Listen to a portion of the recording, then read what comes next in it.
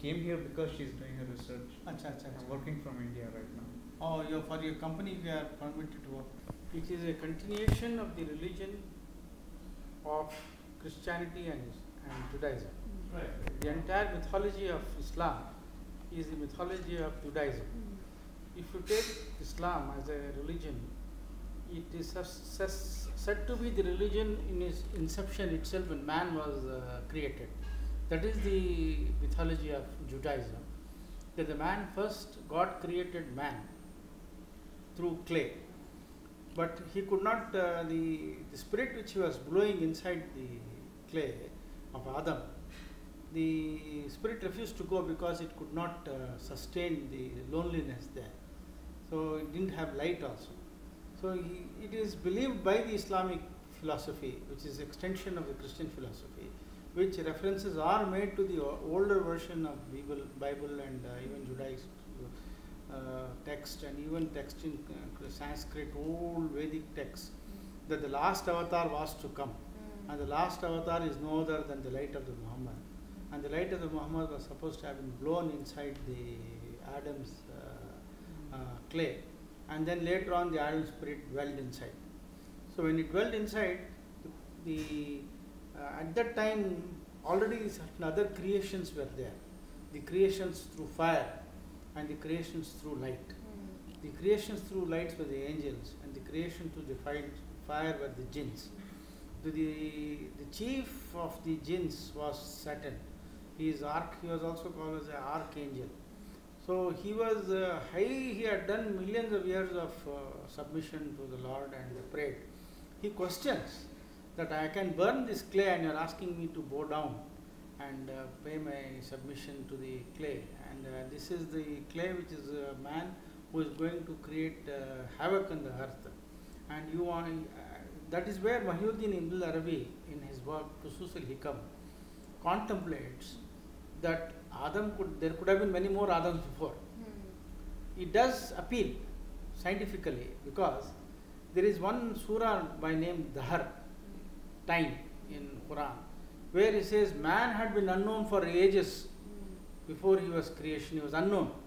So there is an implication or indication, and which even uh, many scholars taking clue from uh, in the Arabi say that this Adam of the Judaism, which is no reference as there in the Greek, Roman, Chinese, Hindu philosophies, Syrian, and um, Babylon and all that, there is no reference to the creation of man in the way in which it is described in the Judaic scriptures, which, is, which Islam follows. So they say it must have been special Adam who has, must have been created for the civilization of the Palestinians who were to dwell in that particular place. The Palestinians, the, uh, where the where Adam was supposed to have ultimately met the Eve at Makkah. That is where he, he is supposed to have built uh, the first house of God, that is Kaaba. It is said to have been believed by Adam. And that is what is the mythology of Islam is extended, which is not, no reference is found of the uh, Abraham having come to Makkah. Because Quran also speaks of Bakka, doesn't speak of Makkah. So the first creation, Adam, he was given the kingdom of the garden, Milton also has written so much in his Paradise Lost and Paradise Gained. But in order to give him company, the God is supposed to have created Eve from the rib of uh, Adam. So to give company, but Saturn has uh, he became Saturn because the accursed. Saturn means accursed. So how he became accursed was he refused to bow down. Here the Sufis draw a lesson. When you go to the great Sufis have said when the peers, when the disciples used to go, and they used to ask them as to how are we to find out the reality, the unity of Godhood. Tawheed, reality is Tawheed, the unity of Oneness. Godhood, oneness. They say if you want to learn the lesson, learn from the Saturn. Saturn is the first person who refused to bow down or pay submissions other than the Lord. He hmm. says, My love to you is more, more than anything else. It is not disobedience which the Sufis try to explain. but it is the excessive of love of the Lord which he had. He could not uh, bear to worship anything other than Lord. The Lord says, I know better. I know why I am asking you to go down. But he says, I, even I, I can understand, but I am not going to submit myself. So the Lord says, then you are uh, removed from my presence. He could have destroyed. He, God is Brahma, Vishnu, and Shiva per Hindu philosophy. He could have removed the de- demon. If he's a demon, he could have just vanished. He could have said, "Get lost." That's I'm going to close your chapter, and he could have destroyed him at, then and there. Hmm. But there was something different. A story had to be built up, and certain civilizations had to come. So he had a role to play. Hmm. So that is where the will of Lord is spoken of in the scriptures, in the biblical scriptures, and in the Testament, Old and New, and in Quran. That you have to submit to the will of the Lord. To submitting to the will of the Lord is known as Islam, peace. Only then you will get peace. So the Islam is supposed to be the religion which was created in its instance itself when man was created. Hmm. It is not a new religion. So the, when Prophet Muhammad said, I am not new, I am not the first one, I am the last. Hmm. Like Kalki avatar which you speak about in the Hindu scriptures. I am the last of all, I am the least, Hmm. I am the unknown, I am unlettered, and I am divine. He says, I am divine because the whole divinity which was created with the light was created on my light. Hmm. And he gives a lot of evidence to it. And he, when he speaks to Gabriel at one time, he asked him, he asked him, have you seen that particular star which is shining? It has been shining from millions of years. Uh, you have been in existence for how long? Uh, as long as the sun, that particular sh- star has been, or much more. Then he says, I have been existing much more. He just opens his turban and shows the star there. Hmm. So there is a lot of evidences which is from his uh, his, his hadith, his, in his recorded uh, submissions are there, that the Prophet was name was already written on the throne of the Lord, Hmm. And ultimately when Adam was sent down, and before that when the test was taking place, the first question he told Adam was he had got disclosed his attributes. So you have attribute, a, a subject has got a predicate, that is a personality has got certain unique personality has got its own uh, attributes. If you are uh, Rachana Rao Umashankar, you have got certain attributes, certain characteristics, certain qualities by which you can describe. People will understand you if you are spoken of. For instance, if I say, Have you seen rose? If you have not seen rose at all, how does rose look like? Then if ro- rose is given, you smell it, and the smell you after you have smelled the rose, even if it is given in shown in the water, if water rose water is brought, you will recognize. You will recognize all other flowers also. First, you may not know at all. So the qualities of each thing, the God's qualities, were revealed to Adam, and he revealed many more uh, things. So he tested Adam before the angels, and he put him questions. I said, "I'm going to put you questions. You have got to answer it." So uh, when he answered all the questions, the angels retract their uh, objections to the creation of. This is uh, all stated in the first surah of Quran, Surah Baqarah, where he is, they say, "Halu subhanaka la ilma ma alimtana innaka antal alimul hakim." They pronounce, "Oh Lord, you know better. You are alim. You are no knowledgeable, and we are not knowledgeable. We have, and we bow down." And they do, and the angel, archangel says, "I am not going to bow down." And it is Imam Ghazali says that this is jealousy because you feel jealous that in your love with the Lord, which is unitary in nature, there is another uh, like a uh, man having another wife, and the jealousy crops up. You have one heart and you can have only one love. So he, the jealousy, is, up- according to Imam Ghazali, is the first sin committed in the in the universe of Lord, and that is committed by the by the Satan. And he warns to all the Sufis that you should first and foremost uh, be away from jealousy. The, all the sins or the evil which crops up into the human mind, which the devil is supposed to be within your human body himself. He has taken birth and gone in inside like God also being very close to your jugular vein and being within your uh, self. Know yourself when you say. When you when uh, Rama Ramana Maharishi, a great uh, higher saint, he didn't practice idol worship, but he had deep concentration as a youngster. He sat in penance on Archana, Arch- uh, Arunachalam Red Hills. So when people used to go to him, even foreigners and Westerners, and ask him what exactly are we to look into, he would only say, question your own self. Who am I? Put that question. So when you put that question, who am I? Ultimately you go inside your own inner self. And you realize that the self has got three important constituents, which the Sufis have also extended to seven.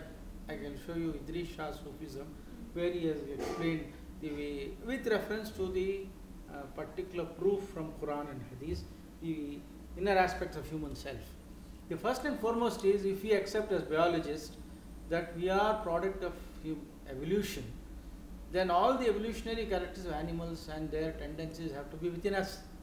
The ancient man, which the Carl Jung in his Man and His Symbols, he did great research on unconsciousness of human being, the conscious and the unconscious, and the ancient being staying with us. With all anthropology, you are studying anthropology, you are looking into the ancient man inside the human being. The ancient man has got lot of fears, fear of fire, fear of death, fear of uh, uh, being. Uh, he wants to safeguard himself, safeguard himself, his body, his uh, everything which he wants, and he wants to safeguard his spouse, his mate. He doesn't want it. That you would find even this uh, thing in animals.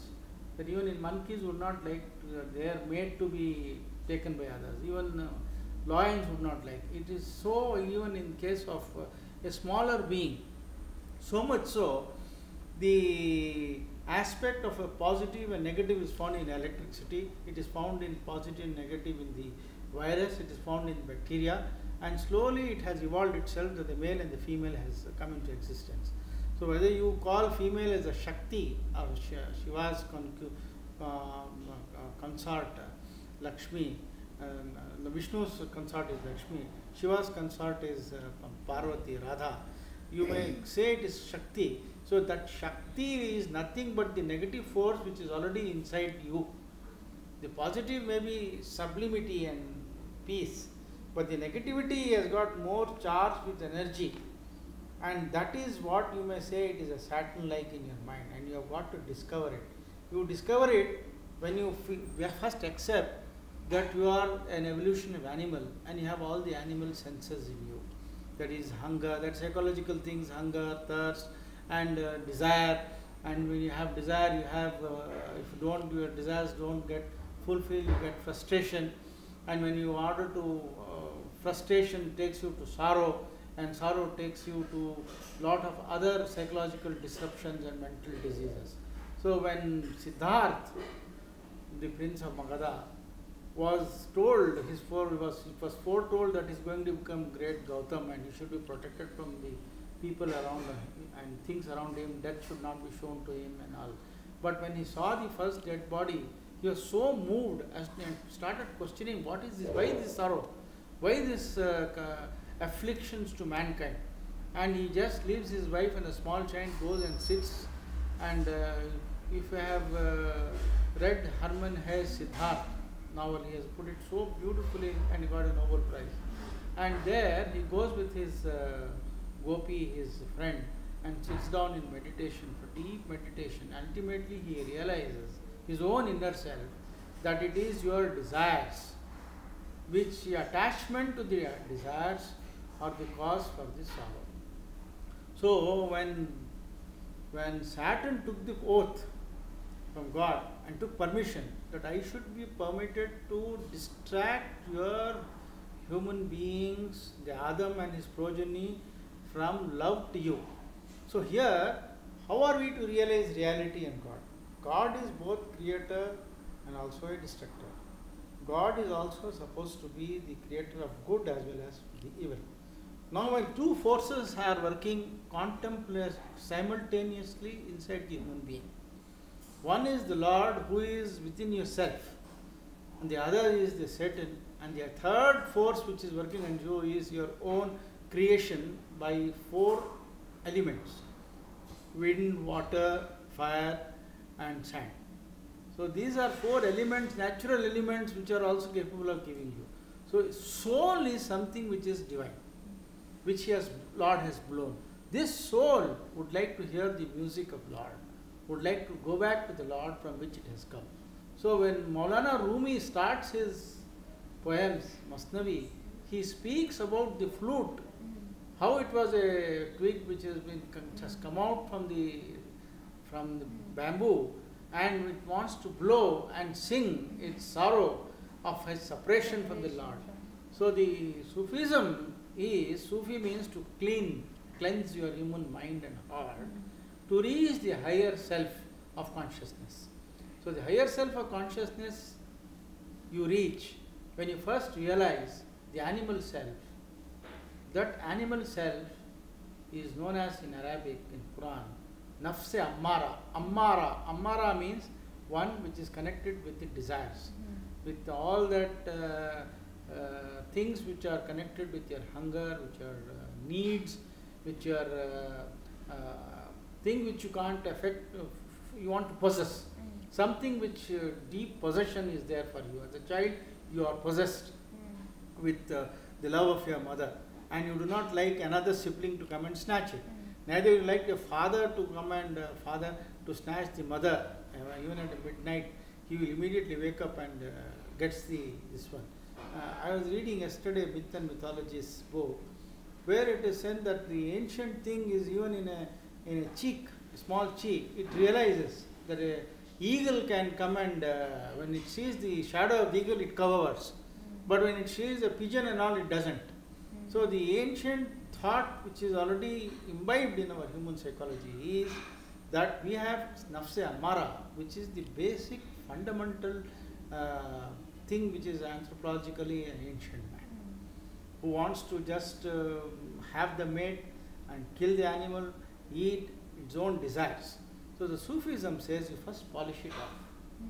First you realize and you detach yourself from the nafse amara.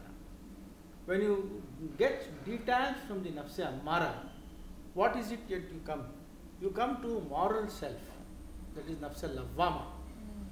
This moral self is what is civilization is giving you. Civilization has taken pains to culture the mind and heart, which the law of the Lord has given to you certain dictates that you shall do or you shall not do. Hmm.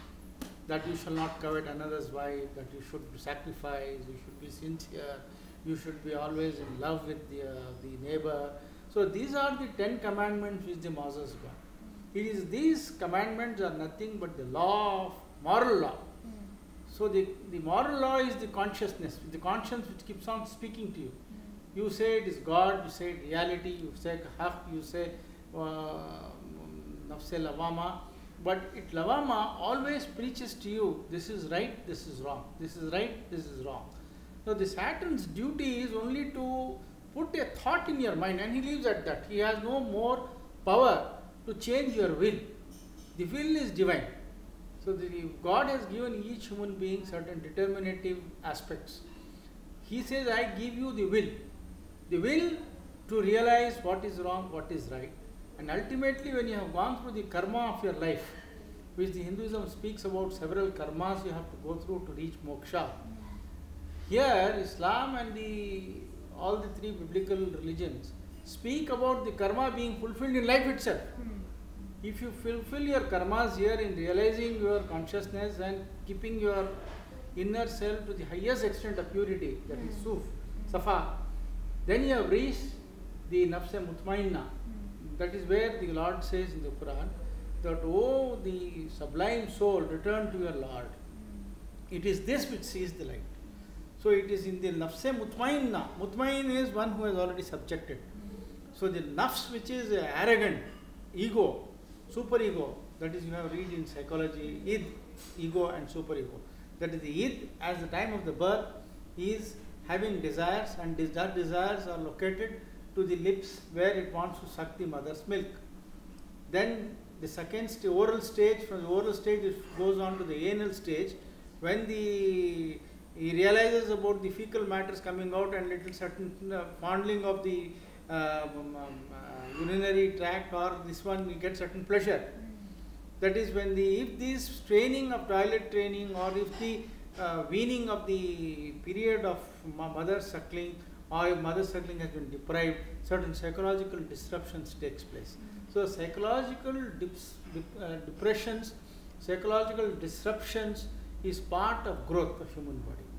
So, but ultimately, when you know the aim of your life is not just to procreate or to create certain things for your own needs, but certain beyond that, because God says, I am creating a Khalifa, I am creating a, my own representative, I am creating a man in my image.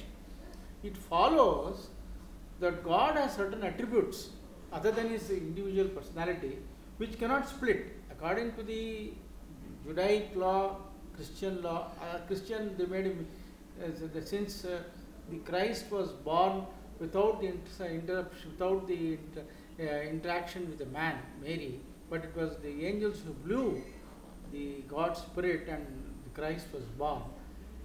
People thought he is a son of God, thereby attributing to God certain nature which is not consistent with the Godhood. God cannot procreate. God God cannot come into avatars. That is the philosophy of Judaism hmm. or the philosophy of Islam. Hmm. That is, God is Tawheed. He is other, his individuality is unsplittable. Hmm. He does not give his work or whatever his will is there, or the kun fayakun, he says, have, be, and it happens. That can that particular uh, qadar, the khudrat which he has, that control which he has over every object of the universe which he has created, is totally his own uh, personality. That he is not parting at all to man. Man may have all qualities. He can destroy, he can create, but he cannot create a universe, he cannot create a law of universe.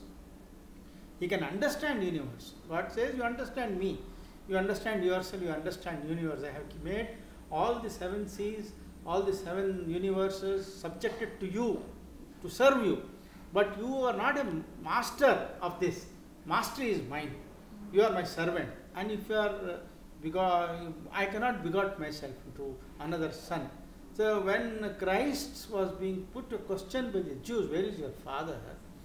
He said, My father is God. When then you are a man, you are son of man. Ultimately, the Jews were scared that this he may, uh, the chief priest, that he may bring in a lot of changes. The common man were turning towards him, was doing so many miracles. And the Romans were the ruling the Palestine at that time. The Roman had an understanding with the Christians that so long as the theological question are concerned, we have the liberty to decide on our own. Our chief priest will decide the theological question, and all other aspects of human life you have got. So when Christ was asked, what is we have to do to the Caesar, when a coin was shown, pay what is due to the Christ, to, to, to Caesar, and pay what is due to the Lord. So all that thing is fine which is accepted in Islam. But when it comes to the aspect whether he is God can procreate, Islam says God cannot divide into or give his authority to another being. He has not given, he has control over every aspect and he has got knowledge of everything, even on the minutest and slightest thought which occurs to you. But he can guide you. He can, that is the guidance, ultimate guidance is the river has to meet the sea and it has to become one with the merge with the Lord. Ultimately, it's a trial because they say because the Adam committed the first mistake in disobedience, he has to undergo this trial. This you speak about karma in Hinduism. So with this trial which is there in our life is a trial, is an examination, is a sport which you may say, or you may say it is a leela, as you Hindus say it's a leela, God's leela. But it is only for self-realization and self-perfection. So this self-perfection and self-realization is the aim of Sufism. Now when we see so much of disorder in the world and so much of uh, uh, methods by which uh, perversion has taken place, the society has become so perversive and ultimately the society wants peace. Now in the modern Sufism is something which is not uh, uh, alien to the uh, present times. It is more necessary for the reason we have lot of uh, consumerism has come in and gripping our mind. So con- consumerism is nothing but Satan. It is giving you desires, plenty of plenty of desires. So what exactly the Sufism is trying to say is, you fulfill your karma of living an ordinary life as God desires you. If you have to become a scholar, you become. You want to become a scientist, you become. You want to become a multimillionaire, you become. But you have a duty towards the Lord and the society which you fulfill according to the laws laid down. But ultimately, you don't have attachment to this. Your main aim is to reach the Lord.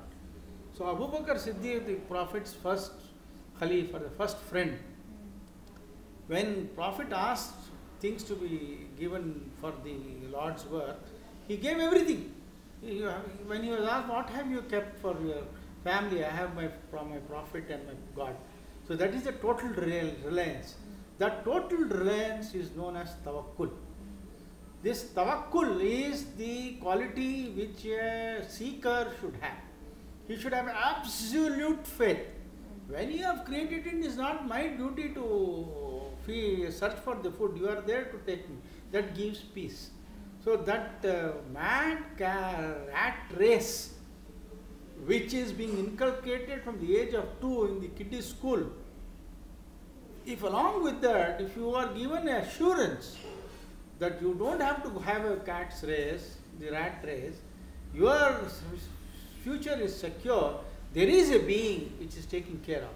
But because we have become agnostics, and the Western civilization is nothing but agnostic society, which believes on the man himself creating everything, and he has to do himself, he has to learn, he has to educate, he has to fashion himself into certain aspect of the life, and he has to qualify himself to work. That you are talking with only with regard to the persons who are qualified. What about unqualified? What about the illiterates? For them, you need to give something else. So you there you are giving them the most important aspect which man requires is not the jealousy of the Satan, but the love of the Prophet or the love of Lord. So God says, You love me and love the Prophet beyond your own love for your needs, for your life, for your wife and children, I take care of you. So this philosophy is not new to Islam.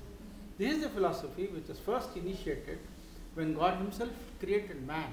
That you have been created, you and the angels and the jinns have been created only for obedience, for submission. When you submit yourself to me, then all the trials of this life will become very easy. You don't have to be afraid. If you see the life of these saints, you would notice that they were also warriors, they were uh, businessmen, they were criminals, they were bandits, some were uh, born saints, but every one of them have undergone this trial and tribulation of inner self. It is something which is from in, inside itself, not something from outside. It is not the creation of father, mother, created by father, brother, sisters, and all, but it uh, individually creates itself along with the human birth. That is where you speak about karma or the astrology may speak, this is all due to the stars which are there. But ultimately, who has created the stars and all that? Whatever might be the ultimate, even if as a thief, he repents. If he repents, God says, even if you have done 70,000 sins in your life, if you truly repent and turn towards me with your total devotion and love and seek my forgiveness, I will forgive you. So that is why, out of hundreds of his qualities which God has, has which Vishnu ka, Sahasranama has got 1000 Vishnu's name, which people stand on one leg and recite in the early morning after taking bath, cold water bath in the temples, Brahmins, they recite Vishnu Sahasranama 1000 names. So maybe multi-million names are there. But in Quran 99 names have been recognized wherein the qualities of gods are there. So these qualities, of all the qualities, is the first quality is the creation, second quality is the destruction. But when you take the name of the Lord, you are not taking the name of the destruction or the creation or the giver, giver or the provider of the food, but you are taking the name of beneficent and the merciful, Rahman or Rahim. Bismillah, Rahman Rahim. O Lord, the beneficent and the merciful.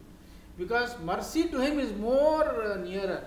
He is full of compassion for his creatures. He loves his creatures and he expects his creatures also to love him. That way we can say Lord is possessive. Lord is very possessive. And love, you, you find jealousy in love. There has to be, and love, God is very jealous. He does not expect you to show your love more than to love to Him. So that love should be kept exclusively for the Lord, but you have a duty towards your wife, your parents, your neighbors, your everyone which you distribute. So ultimately, Sufism has realized that it is love and love alone. And it is love which gives compassion, it is love which gives mercy. It, because love is so much, even if you commit 70,000 sins, because love is so supreme, it forgives. Because when you turn towards him and say, Amma, the love of mother is so much, so compassionate, the mother just hugs the child. Whatever the wrong the child might have done, and whatever uh, mistakes, even if he is a murderer and all, the mother will refuse to believe, no, my, my child cannot do such a thing, it might be somebody else. So the instigation, you must have done it by mistake. The mother never accepts. So God says, I have got 70,000 times love of your mother. If your mother loves this much, my love is much more than 70,000 times. So the Satan only is trying to distract you from this, that you should not love Lord. So ultimately, if you see the present times, the desire the, which is there, consumerism, the banking system, you are being loaded with loans, credit cards, free eh, mortgages, this, that. Ultimately, what happened? It suddenly the economic system collapsed. They thought that communism is an answer. That communism is without responsibility. You are taking away all the wealth for the state, and state thinks it can do. Yes, Islam does recognize that state has a supreme authority, but it also recognizes that man is a tyrant. So God speaks about man's 300 weaknesses. He- While he speaks about man's 300 good qualities in Quran, he also speaks about man being being zulman jahula. That is, he is a, um, so many bad evil qualities of man are spoken of. That is inherent along with the birth, along with that is he carries the ancient man in him, because the ancient man has suffered to um, uh, to overcome the, the destructive aspects of nature. He had to work very, very hard to cross through the Stone Age, the uh, Fire Age, then so many ages, and it is the during this period the mythology has come into existence. So ultimately, the Quran says mythology is only a myth; it is not reality. It is during your own historical development this mythology has come. Don't believe in mythology. If you want to re- realize me, give up all the stories about me. It is like blind people trying to find out what an uh, elephant is. So while they are one is trying to say the trunk, the leg is nothing but a huge trunk, and the um, the ear is nothing but a big fan. So these are all mythological way of trying to find out what God is. But God Himself has come down in the form of Muhammad, and He has through Gabriel given you the teachings of reality, and that teaching of reality starts with understanding of your own inner self. That is, you have the nafse amara, the animal self, then the moral self, then the, the last self, that is the mutmain self. Then the Sufis have added four more. The nafse razia is the last one. When he totally he submits himself to the will of the Lord. He will not even pick up a stick unless he feels that the Lord has commanded him to do it. He sub- that's why the modern people in the modern sense they say Sufis are in, incongruous or they are not they cannot sustain to the present times. But uh, Hinduism has found an answer through meditation and yoga and said that through yogic living, through meditative living, through uh, living, Buddhism has found an answer that you have to cut off yourself from the desires and attachments and keep yourself above all this.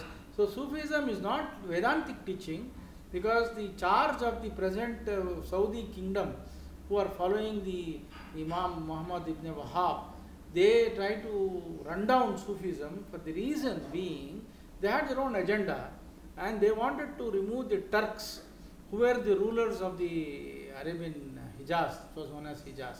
So the tribal chief Abdul Aziz, he was able to take the message and wanted to bring in Arab nationalism. The Arab nationalism did not want the Arabs, they wanted the Arabs to take up to valor and not to take up to recluse or uh, penance and uh, give up this, but have the valor and take up the weapons, go on uh, conquering people, convert them to the Islam. That is their concept, which was they found in the initial stages when Islam grew in the hands of uh, tyrants. First four caliphs were there. Thereafter, the for about uh, 250 years, Islam was in the hands of tyrants.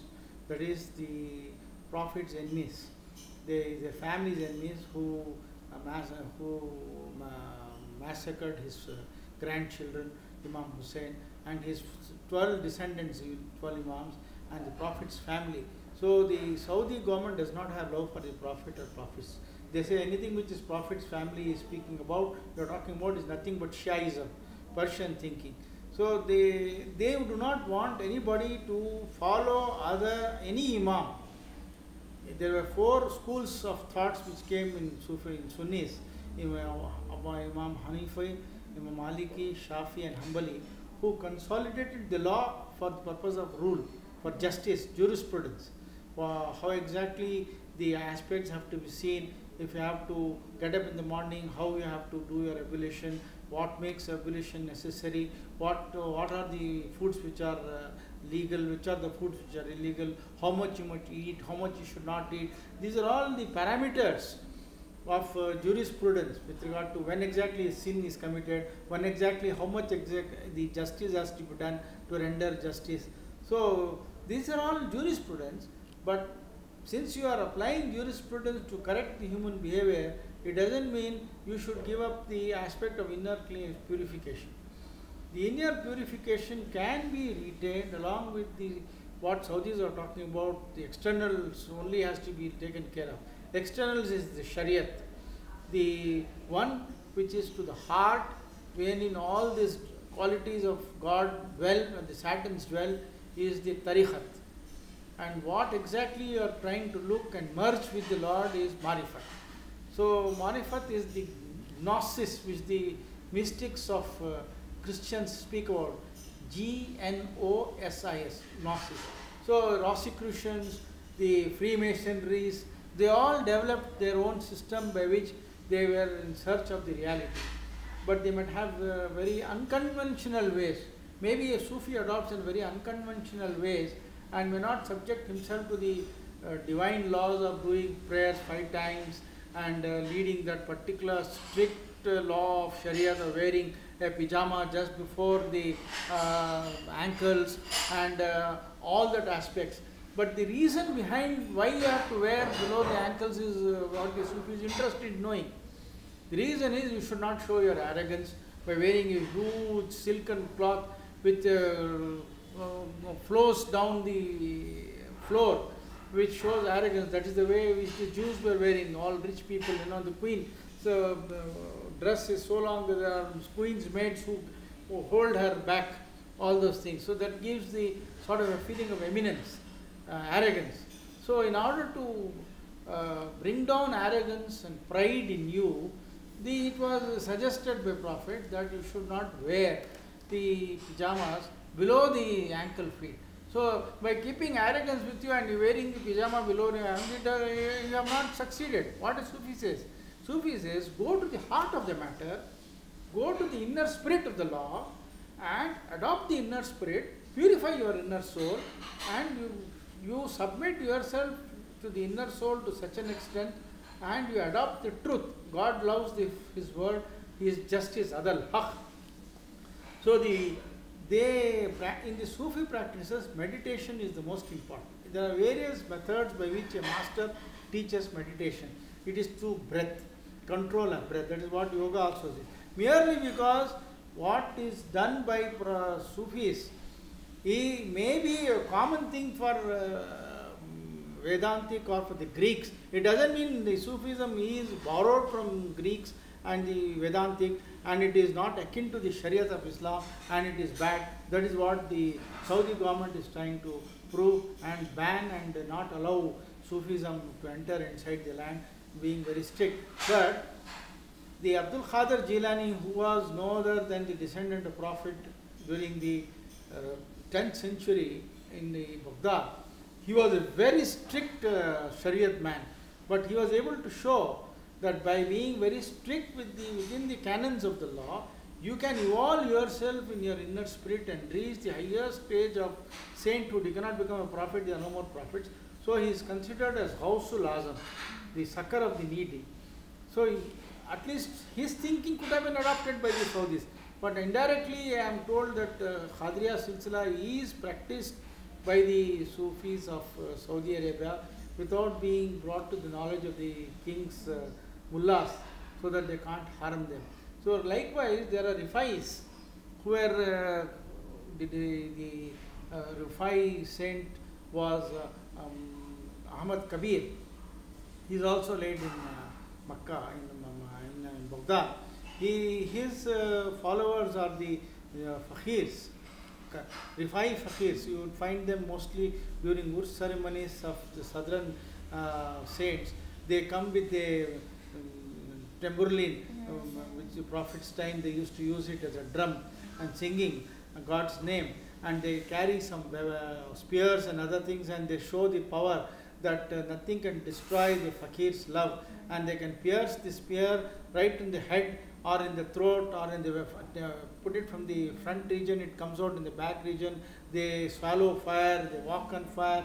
They do all sorts of things while they are reciting the incantations of lord to show that the love's lord is so much that lord can protect you. This uh, only Rifais uh, fakirs are able to do.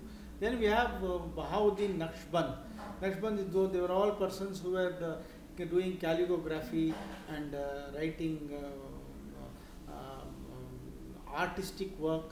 So Naqshbandis uh, mostly they spread towards the Russian side and all the new countries which have come into existence. The hard work of Naqshbandis. So they kept the Sufism inside their heart and did not exhibit it during communism. The moment the states were uh, split, the Shariat has come back. But they would not like to follow the Wahhabism.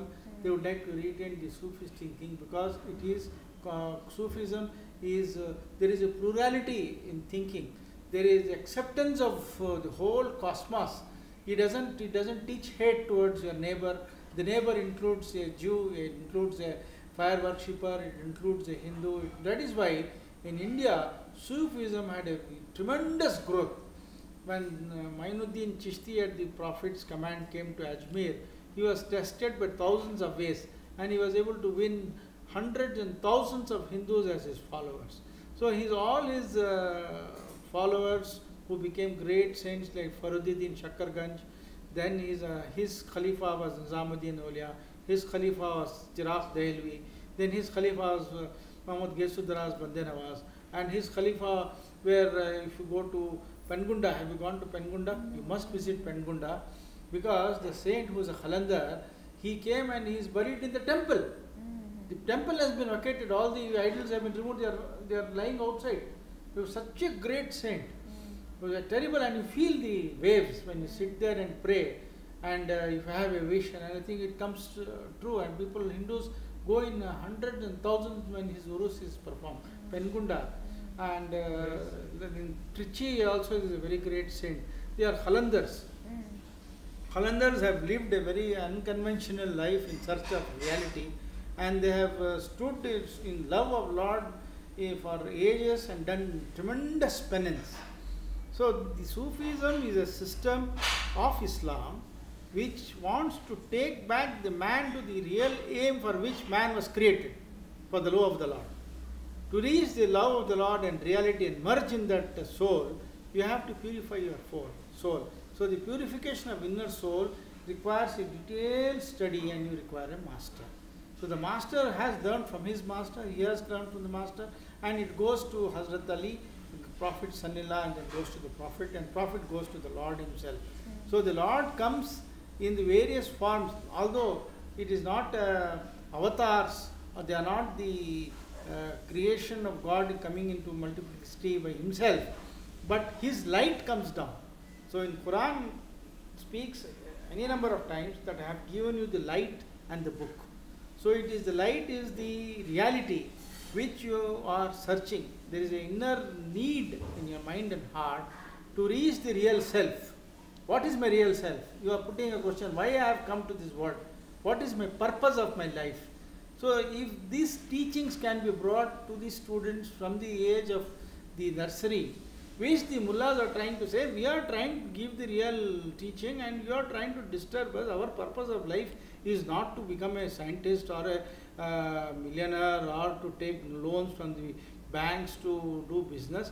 Our aim is to realize. So, what wrong is there in bringing a cosmopolitan thinking among all the faiths? You may be of any any faith, but your purpose of living is to purify your inner self, which you cannot deny. You are having inner ancient man in you. Your, your uh, growth is through the animals. So the evolution of man has got various uh, ancient myths and other things already imbibed in his inner consciousness, uh, unconsciousness.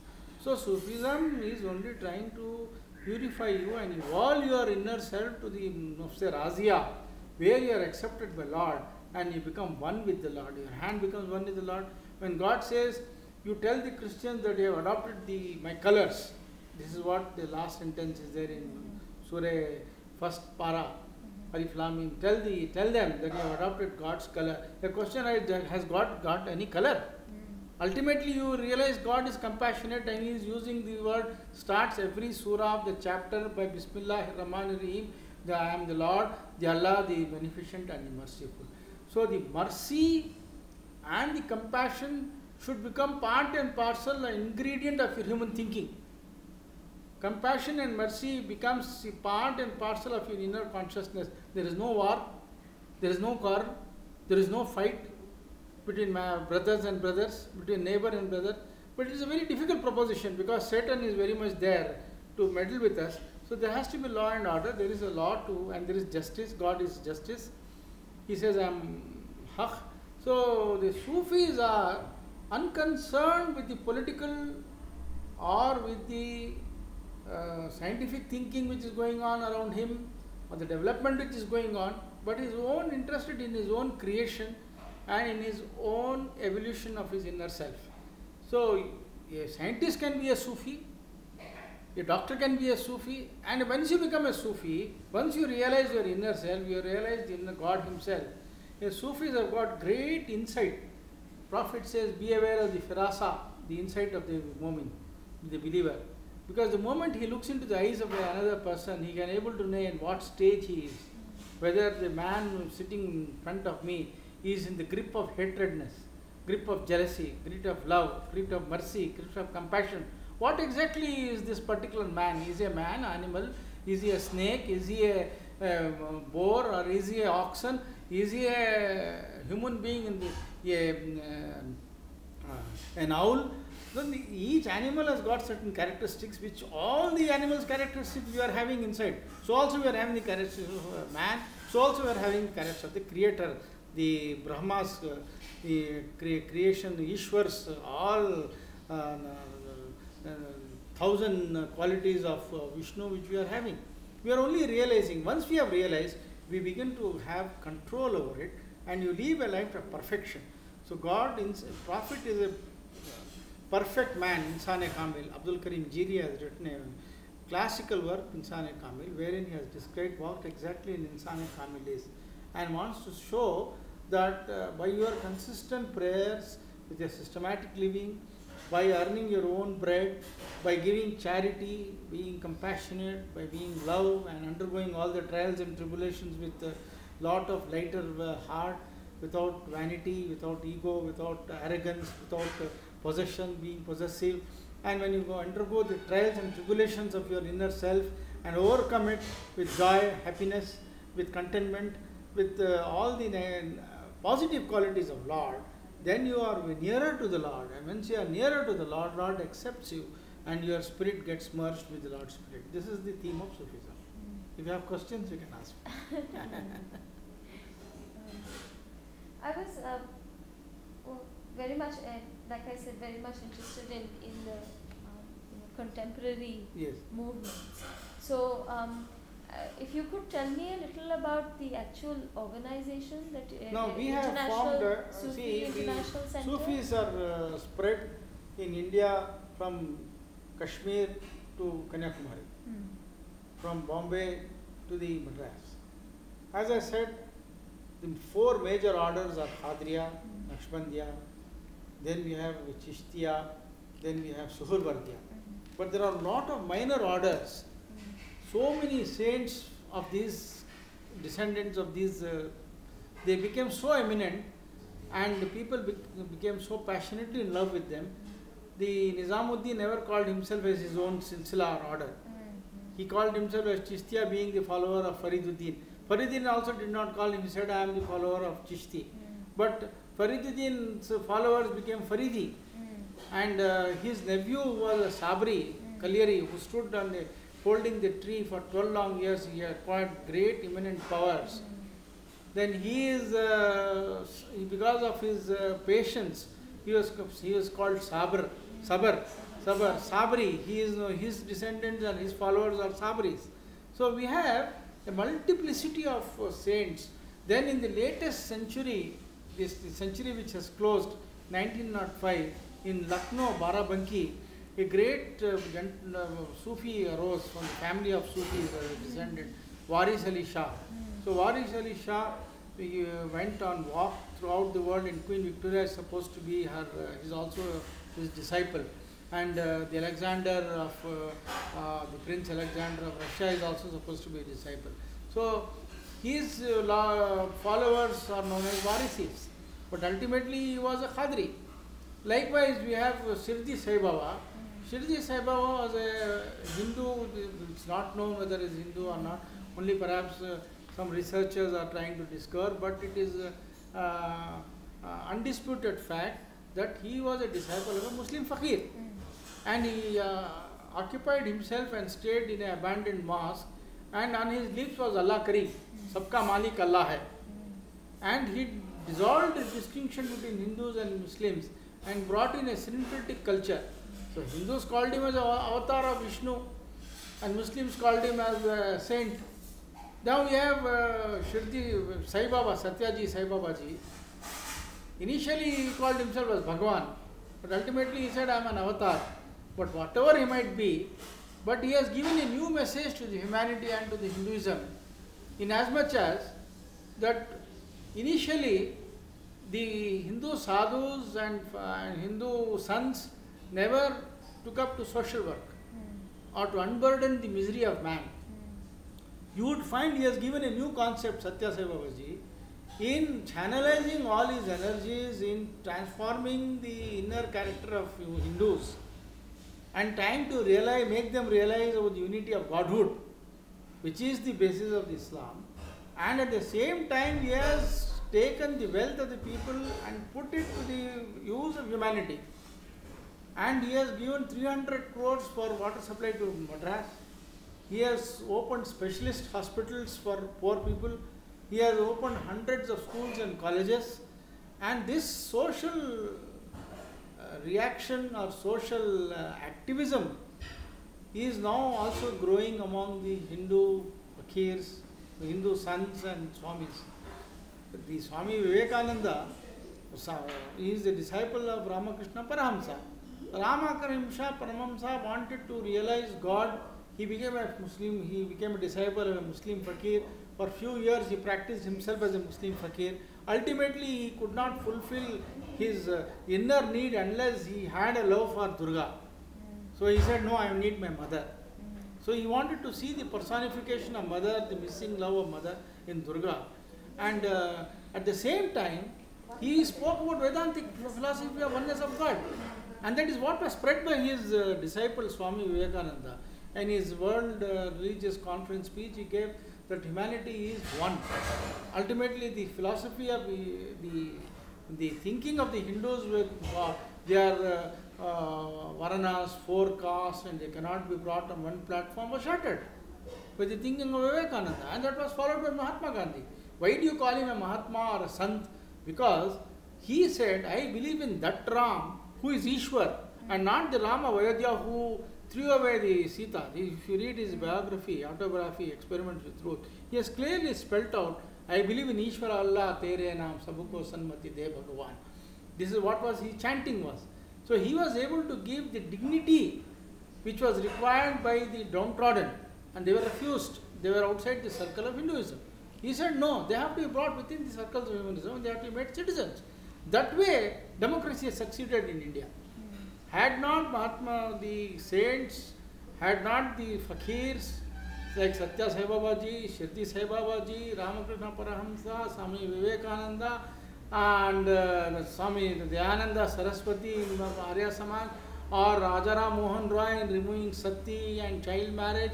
So it was a, the democracy slowly started taking roots after the British uh, coming here. But before that, the Muslim rule of 750 years was able to bring in a certain unity among Hindus. It is not that as though there was no uh, influence of uh, Islam in India, because you had the Bhakti movement of Kabir, Mirabai. So they were all these great saints of Chishtiyas and others were able to make every citizen of India the necessity of love, the necessity of music. So during the Mughal period, the classical music attained its heights. Poetry attained its heights, painting attained its heights. So there was inner revolution which took place, and the inner qualities of man was able to reach its heights. You would also realize that there were great demons, which was uh, the belief of Hindus also, and there were tyrants also were there, and they had to be subjugated, and a common man had to get his peace, and he had to get his rights. So the Mughals were able to establish a very good system of justice, Qazi system. Every village had a Qazi. So the administration and also every time India was uh, invaded by foreigners and they were able to check. And the Hindus were given their security and they were not forced to become Muslims and Muslims have remained only 5% and 10%. The Hindus were able to secure themselves that the role of the Kshatriyas were taken over by the Mughals. And then Akbar wanted to synthesize both Hindus and Muslims and created a new religion, Deen-e Ilahi. He wanted to bring in both together. And these influences was able to give dignity to a man, which was very necessary. But ultimately, the British succeeded by their very good uh, rule of democratic thinking, their uh, way of uh, practical living, their cleanliness, their sanitation, their new inventions which were taking place, industrial revolution took place, reformation took place, then uh, English uh, Reformation and classical movement, romanticism movement which was going on, it also had a great influence on the mind of the Indian scholars also. So it was a very happy period. It is not just the British themselves, but it is the gentry of British system which influenced the Indians also, and we were able to create great barristers, great educationalists who were able to take up the cause for the freedom movement. And freedom movement was, uh, supposing we had had the freedom, without the Mahatma Gandhi's teaching or the secularism of Nehru, there would have been anarchy in India. So ultimately, the present times is blessed because of the work of Shirdi Sai Baba, all the work done by the Mughals or the Mirabai, Kabir Das, and uh, Ramakrishna Parahamsa. So you would notice that it is this Sufism which has enabled the in India today to become true democrat. If we have democracy today, it is because of the change of mind and heart that compassion has come into our hearts and being. And when you sit in a bus, 100 people are sitting in a bus, or 1000 people are walking in the road, no one can understand which caste or which uh, community he belongs. The dress does not, is not, cannot be identified. And today that uh, distinction between man and man by way of color, caste, caste, it takes a long time. It is an evolutionary system. You cannot expect change to come within a day. It is not a magic wand. Man has takes its own time to evolve. And 100, 200 years is nothing in history. So in 200 years of British rule or 700 years of Muslim rule, it had to take about 900 years or 1000 years to remove the myths and mythologies of thousands of millions of years which were in the human mind. Hum, human sacrifice was being done to Durga. and it was the British who had to stop it in 1834 or so in uh, by legislation the sa- human sacrifice to goddess Durga. And uh, the lower caste had absolutely no freedom at all. They can't even wear a dress. Today they can wear jewelry and wear the richest of clothes and go in Benskar. And they are respected by as a human being. So this aspect have to take time because it's not so easy to change the Maharajas or the Brahmins who had the control over the scriptures or who had built huge myths and mythologies to break down. So likewise, Sufism today may not find pleasure in the mind and heart of the Prince of uh, uh, Prince Abdullah of Saudi Arabia, but in, in, in his inner heart he knows that man's inner freedom to reach the Lord cannot be broken by his mullahs. Mullahs can only bring in the like police. The mullahs are policemen, they are lawyers. They are only talking about law. Are they talking about the inner spirit of man?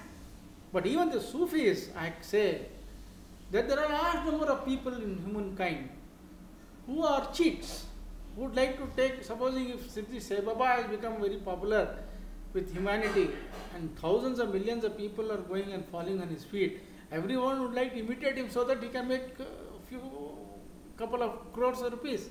So such trickeries and tricksmen, charlatans, such type of uh, false fakirs, dubious people, and uh, such type of uh, there everywhere. Not only here, it is there in America. It may be there in Russia. And it's human nature.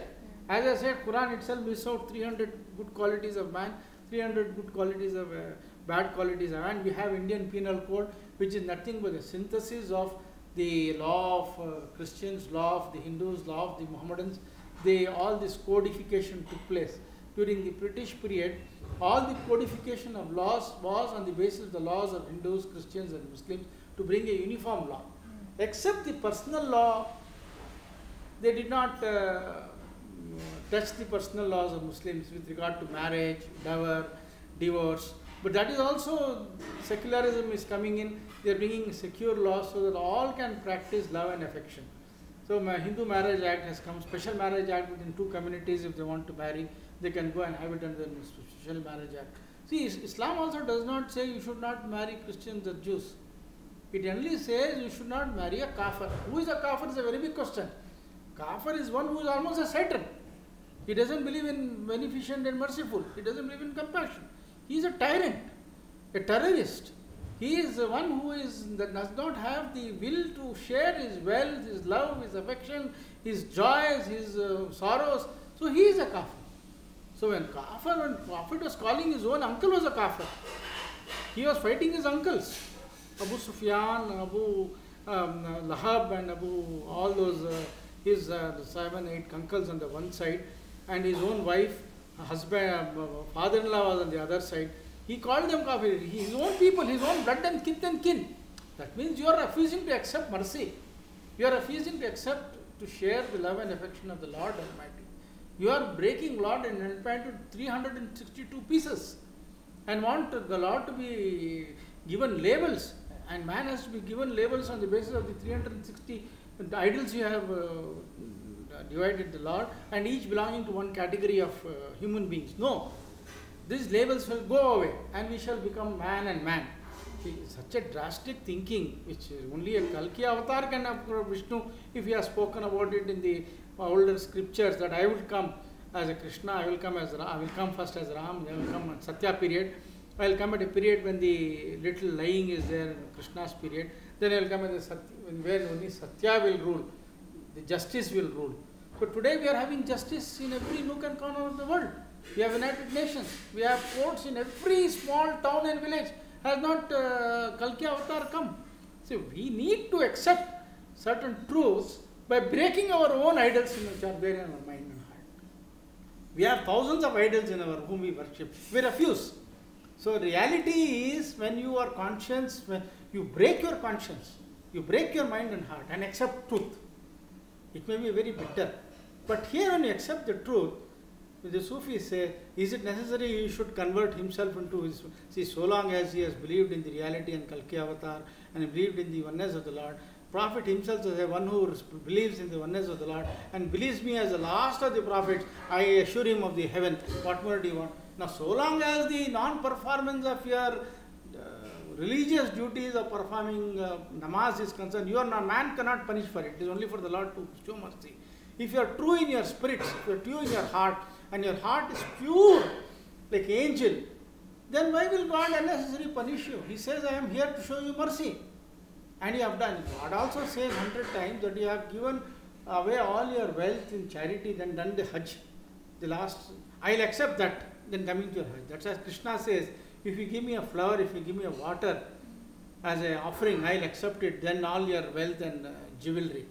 So it is love and love alone, and the compassion and the mercy, which is very difficult to bring it in your consciousness because there are so many million factors which may be there which will be affecting you and affecting your mind and heart and it will be it will be a war.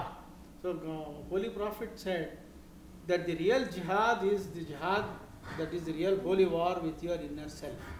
To control and have so if you become ascetic you become ascetic in spirit.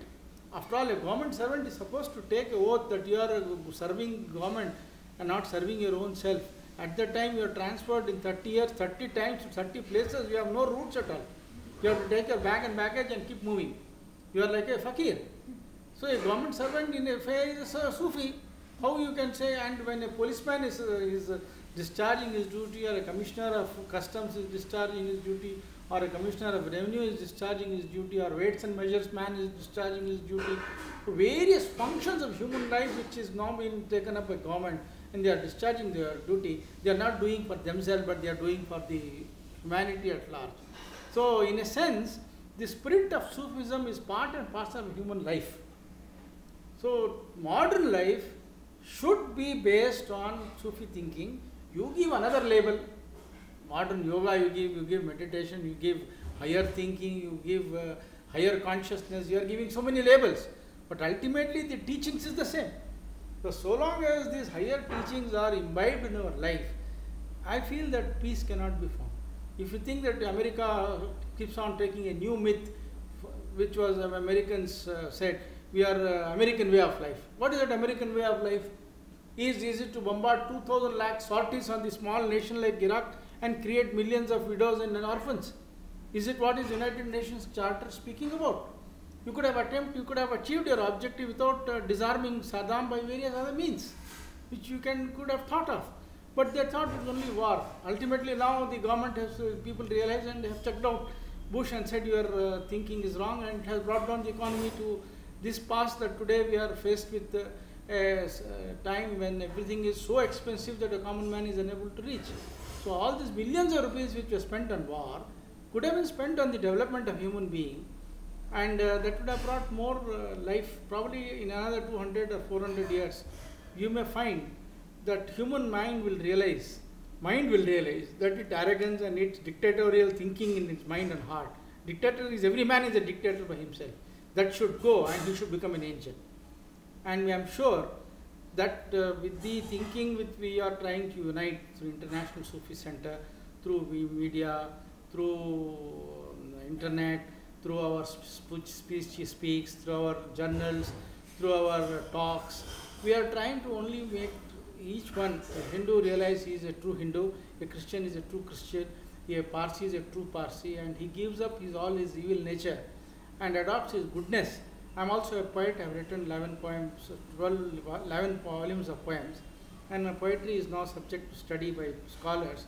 A girl has done her MPhil on my study, spiritual consciousness. So I am also trying to put these thoughts in the modern minds. I am a modern man. I have done my law. I was a judge for uh, 20 years. I was a lawyer for about 16 years. I have been a consultant. I have been a professor of law. But it did not stop me from being my, true to my forefathers, uh, forebearers, uh, thinking of uh, choosing of cleansing the mind and heart. It's not as though I have not been, I didn't have temptations.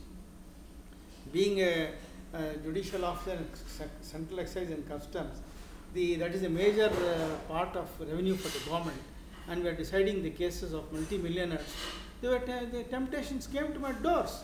But because I, my aim was not world and wealth which was to come to, to feed my children or to have a car, We didn't have a car. We didn't have. A, I was moving around the two wheeler in uh, by taking loan in uh, Delhi, and everyone are laughing. All your colleagues are moving in wonderful cars, and you are going in a two wheeler. So I, I didn't feel shame. Shame was not there in me, because it is not the people's respect. I was more afraid of Lord. So the fear of Lord is the and the love of the Lord.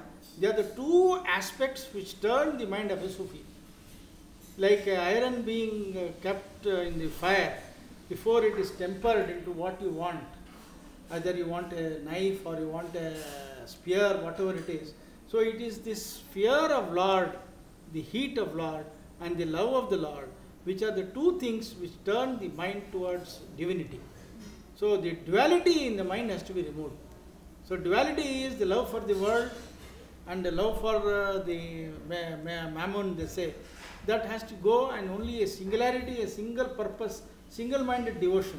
And today, every you as an engineer working for some, of your boss requires you a single-minded devotion. He says your wife may be there, you may like to go, but today you have to work the whole night, and you would subject yourself. And if you are devoted to your subject because you have a aim, you want to learn, you want to achieve some scholarship, you want to be a Fulbright scholar, you want to show that you have achieved certain things.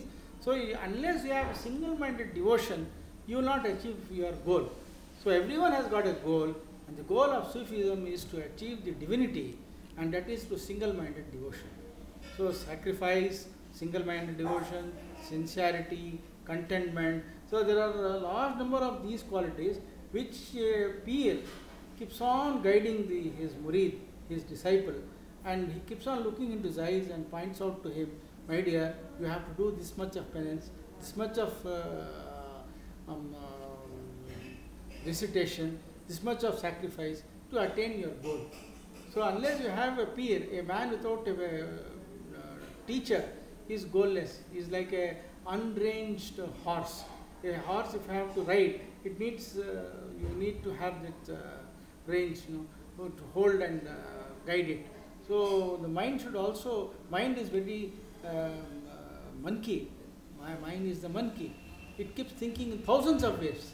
In one minute, your mind already has thought hundred things while looking at me. Maybe you are attentive. No. At the same time, your mind has been thinking many, many, analyzing also. It's a computer. It's, more wonderful than a computer. So if you have to make the mind attached to one goal and that is the love of the Lord and the mercy, it requires training. So Sufism is trying to only give what is best required for the man to evolve.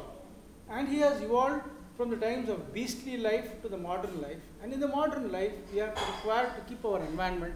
Today we are talking about global warming, we are talking about the destruction of environment, we are talking about the destruction of uh, fauna and flora, we are, we are talking about the so many species of birds vanishing, so many species of animals vanishing. It is because of our inner desire. So we need to calm down our mind and heart and retain the joys and the wealth which Lord has given us. Otherwise, we are reaching damnation, the end of the world.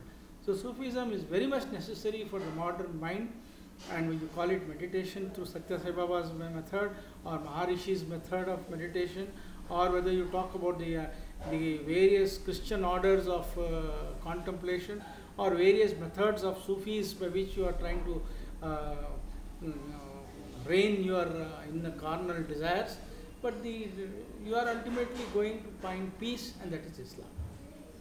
Islam is not the green flag or the chupa and pajama and the topi, but Islam is a reality which is introduced into the mind and heart with compassion and mercy as the weapons, as the methods of the goals. Which we as International Sufi Center, is trying to give old wine in new bottle. To the new modern minds, new modern culture people, we are trying to explain to them that is the need of the time that we have to accept non-violence, ahimsa. And while saying non-violence, it doesn't mean you give up uh, eating uh, meat. Or you eat, but in moderation. Everything is moderation. If you exceed the moderation, you exceed your uh, evil qualities in you and you destroy yourself. So we, we are not interested in knowing the results. We are doing our karma of carrying on our duty. Whether we succeed or don't succeed, it is in the hands of the Lord.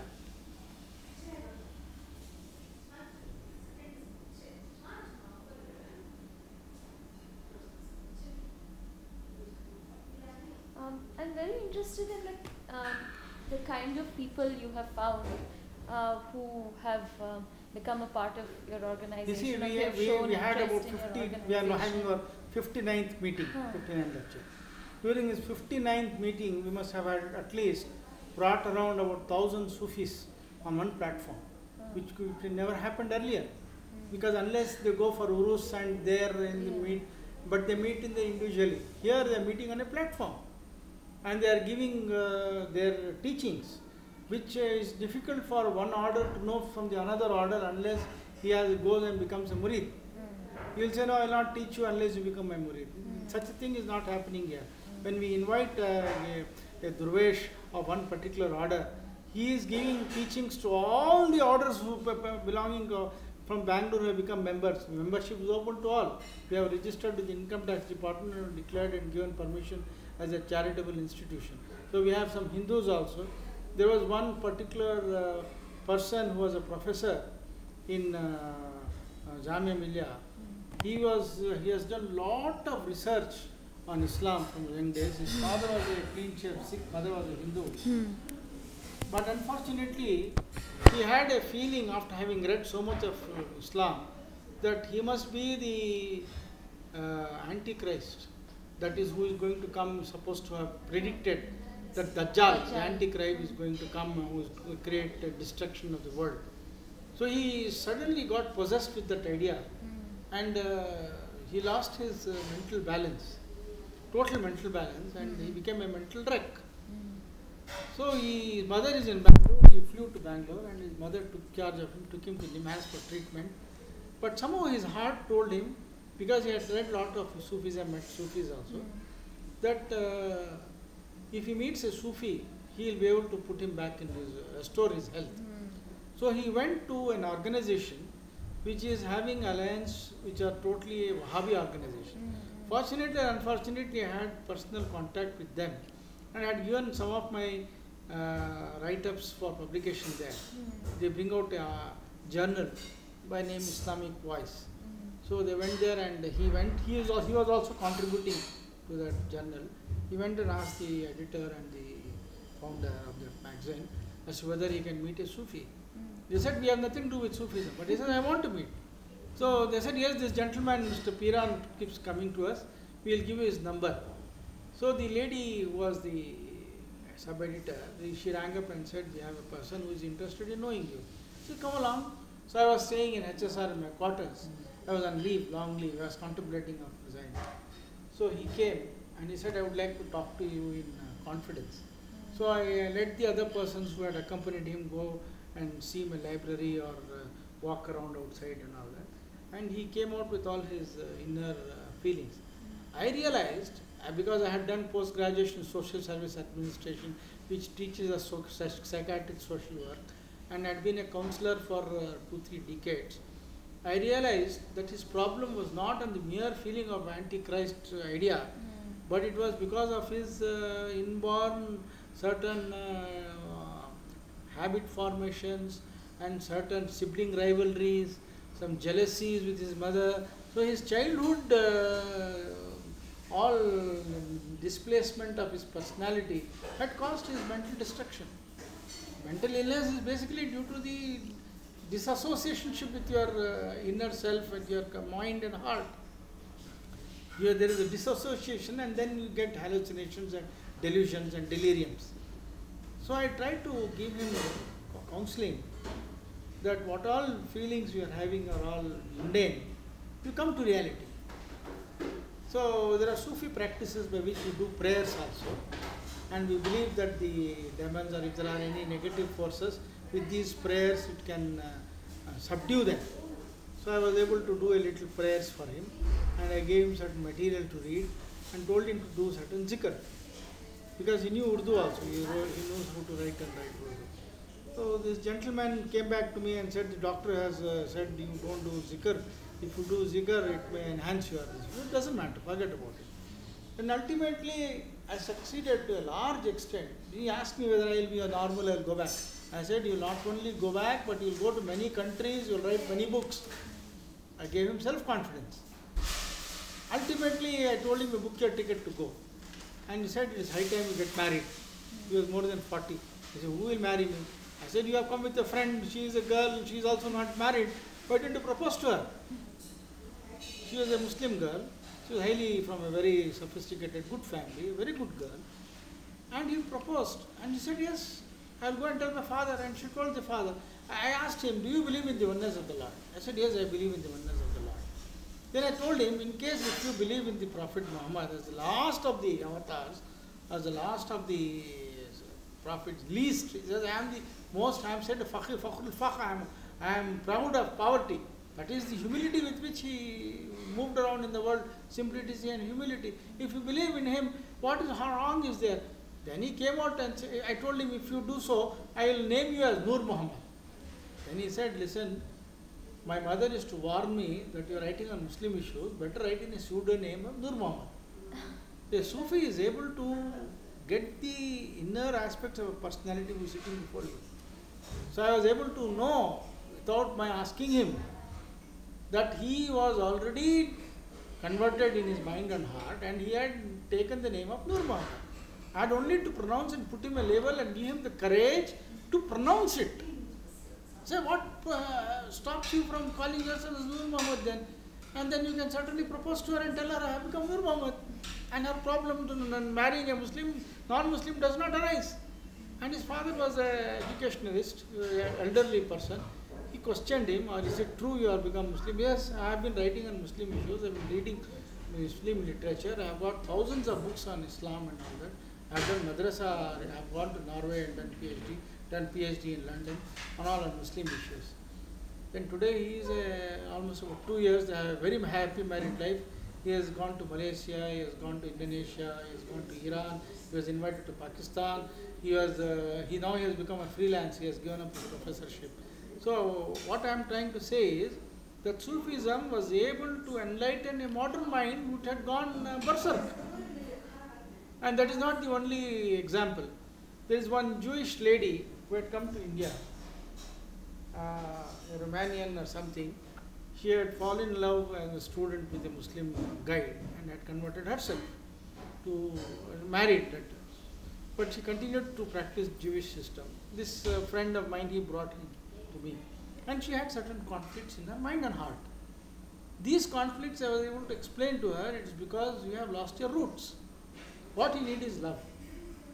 And what you need is real desire to do some compassionate work. You take it up. How will I do? I, I want to do this, that. I said, you start something, don't label yourself, you are doing people government agencies and others with trouble, you start a social institution by a non-government organization, Indian Institute of uh, Social Work or Indian Institute of Social Change. She has done a lot of research on so many castes, this, that and all. And she succeeded and she says, will you become a director? I would like to keep you as my director. I said, go ahead. So it is only what Sufism does is, it gives you direction to your mind and heart whatever is missing in your heart and mind and what destruction has been caused by your own conglomeration of your qualities of bad and good and turned you into devil or an angel or a semi-angel or a semi-devil. We are only trying, I am not an angel, I am not perfect by myself, but I am in the path. I am in search. I am inviting you also in my search. And after everyone is in search. We, we are controlled, all are controlled by certain systems. Something is controlling our destinies. Somebody is playing our cards.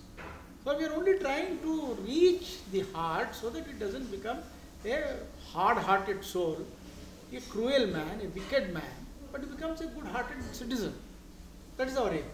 So we have succeeded in uh, transforming large number of people who have come to our uh, meetings and who have been hearing our lectures on this one. We have been getting mails from almost every part of the world, from Pakistan, from uh, Indonesia, from Bangladesh, from uh, America. That is how Anna Megalo also got. You also came to know about organization. We have uh, one uh, um, from Russian journalist by his name Alexander. I think I have I have given you that copy. He has uh, uh, sent an article for publication on Sufism. We published it and we asked him, we want to know your real address. Where are you from? So that we can uh, put it there. Then he initially was unwilling to disclose he's a Jew. He's, he's staying in Jerusalem. uh, that part of Jerusalem which is uh, controlled by Israel. But he was so much impressed with our inter, uh, internet that he contributed an article in. So Jews are considered by Arabs are dead enemies. so also the Muslims all over the world. But I found a Jew who was so much interested in Sufism and he wanted to follow the path of Tariqat. And he has given an article we have published. So we are getting response from almost all part of the world. But it all depends on how successful we are in our attempt. We do it. Mm. Uh, Mahatma Gandhi just spoke about uh, Ahimsa and, and his voice was carried uh, by the winds. Mm. Satya Sai Baba spoke something and millions came to him and he put it to use. So many people came to his. So it all depends. We were uh, we started off in, in the same drawing room with about five or six people.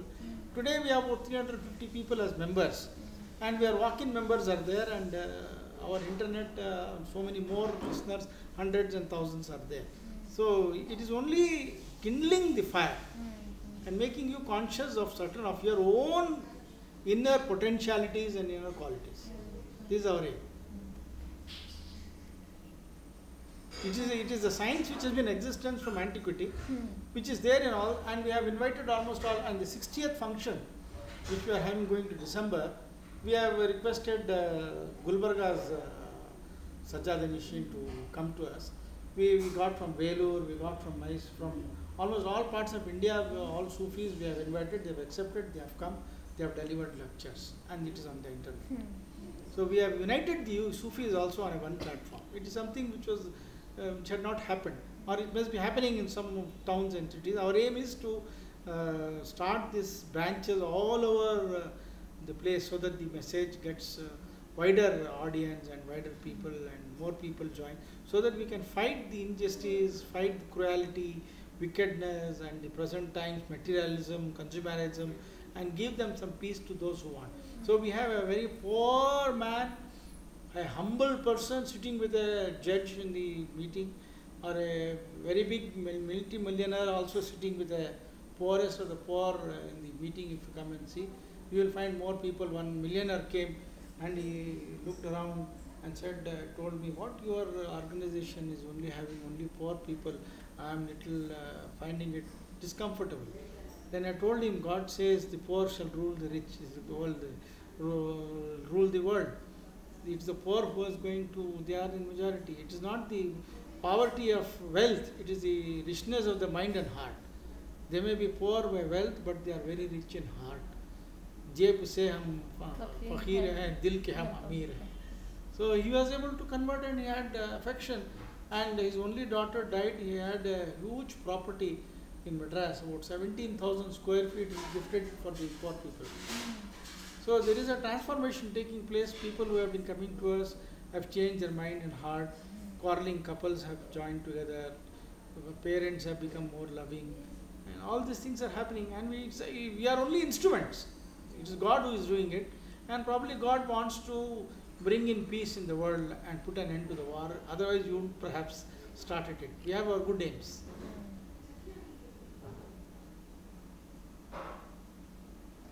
Um, you mentioned a, a few minutes ago that um, you know this person who had, uh, was directed to you, he Hmm. first went to some Wahhabi organization and oh they yes said yes we have nothing to do with Yes, Sufism.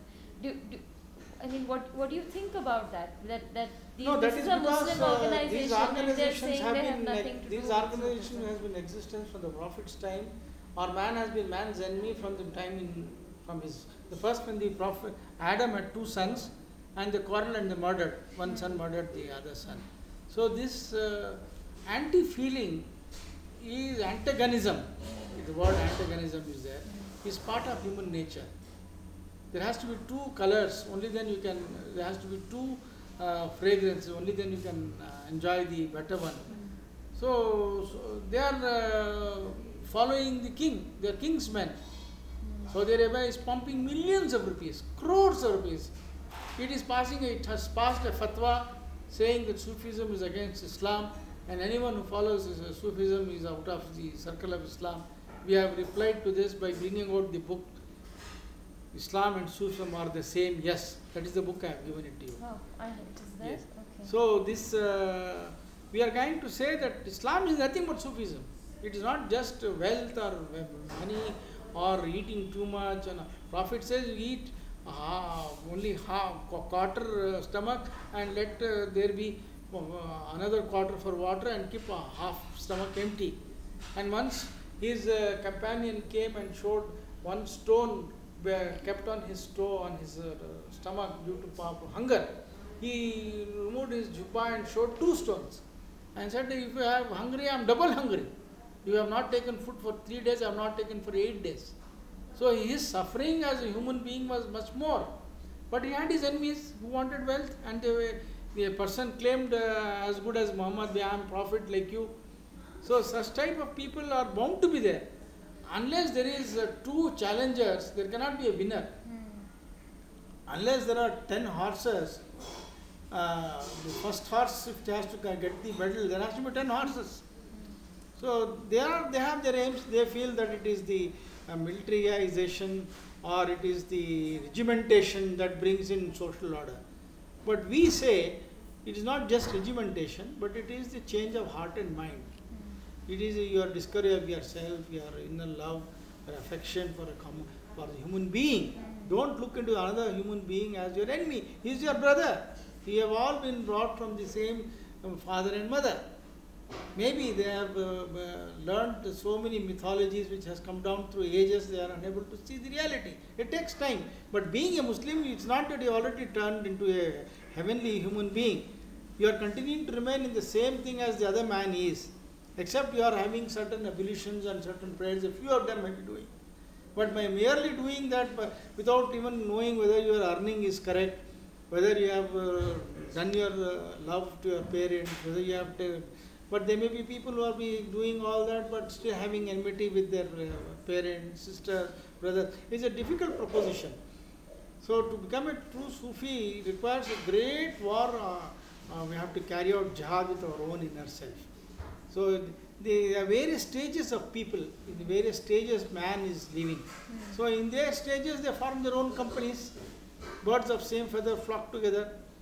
So if they are having the such thing, it's because of God's. Uh, still they are yet to evolve. Uh, it's not that we have over evolved, but at least we have compassion for you. We are not uh, con- con- considering Rachana Rao Umashankar not to come to our meeting. We are inviting you. They will say, no, you don't come. You are a Hindu, you are a kafir. For them, kafir doesn't mean a kafir can be you say yourself. You are a kafir to your own self because you are refusing acts of compassion and mercy. So that is the way we um, Sufi master tries to make you more humble, humblest of this humble soul. The Satan says when God banished him that I will not be able to go near a humble soul. Your most obedient soul, I will not go near him also. And it's very difficult to say whether God has said in any scripture that that is going to put him in the heaven, in the hell, whether Satan will be sent to hell. He is also doing God's work. See, we need to put certain certain things are required for human change, human evolution, for human uh, conceptions and development. Certain factors and certain uh, elements are required. So these uh, nature's elements, Satan's elements, inner elements, uh, social consciousness, social growth, economic development, they are all factors for the humanity to move forward. That's all required. But while we are a part of that uh, march, same time we should not forget what we are and what our inner goal is. And we should not become a mere machine, but we must try to become a good soul. That is the purpose of Sufism.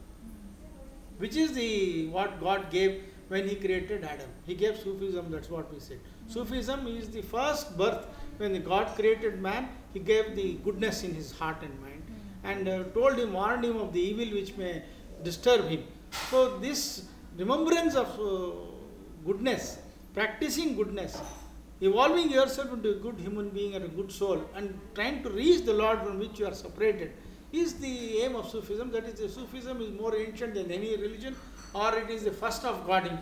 So, Sufism is God, and I am Haq, I am truth. That's what some Sufis declared, I am truth. So, if you have to become truth, then you have to cross through many barriers and many, many, many things in uh, the elements which are there in you and outside and all that, so that you reach the truth, ultimate truth.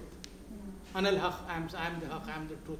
It's so easy to speak, but if you have to analyze microscopically or through an electron microscope whether you are Haq Every cell should speak, I am Haq, I am Haq, I am Haq. So there are Sufis who practice this uh, chanting of Anal Haq, Anal Haq, Haq, Haq, Haq. The voice keeps coming from every breath, from every hair of the body. There are such Sufis whose uh, has been in chronicles have recorded their every breath and every cell was speaking Anal Haq, Anal Haq, Anal Haq. I am truth, Anal truth. That is their penance. Deep penance is required to reach the stage of Anal Haq. So you can't expect it from people who don't have eye and mind and heart. So they, they do, they are also doing their duty in their own way for their group, for their type of understanding. Level of intelligence is also variant. Intelligent quotient varies from some stage, idiot stage to the genius stage. It uh, goes on. Intelligent quotient, uh, the scale is there. No?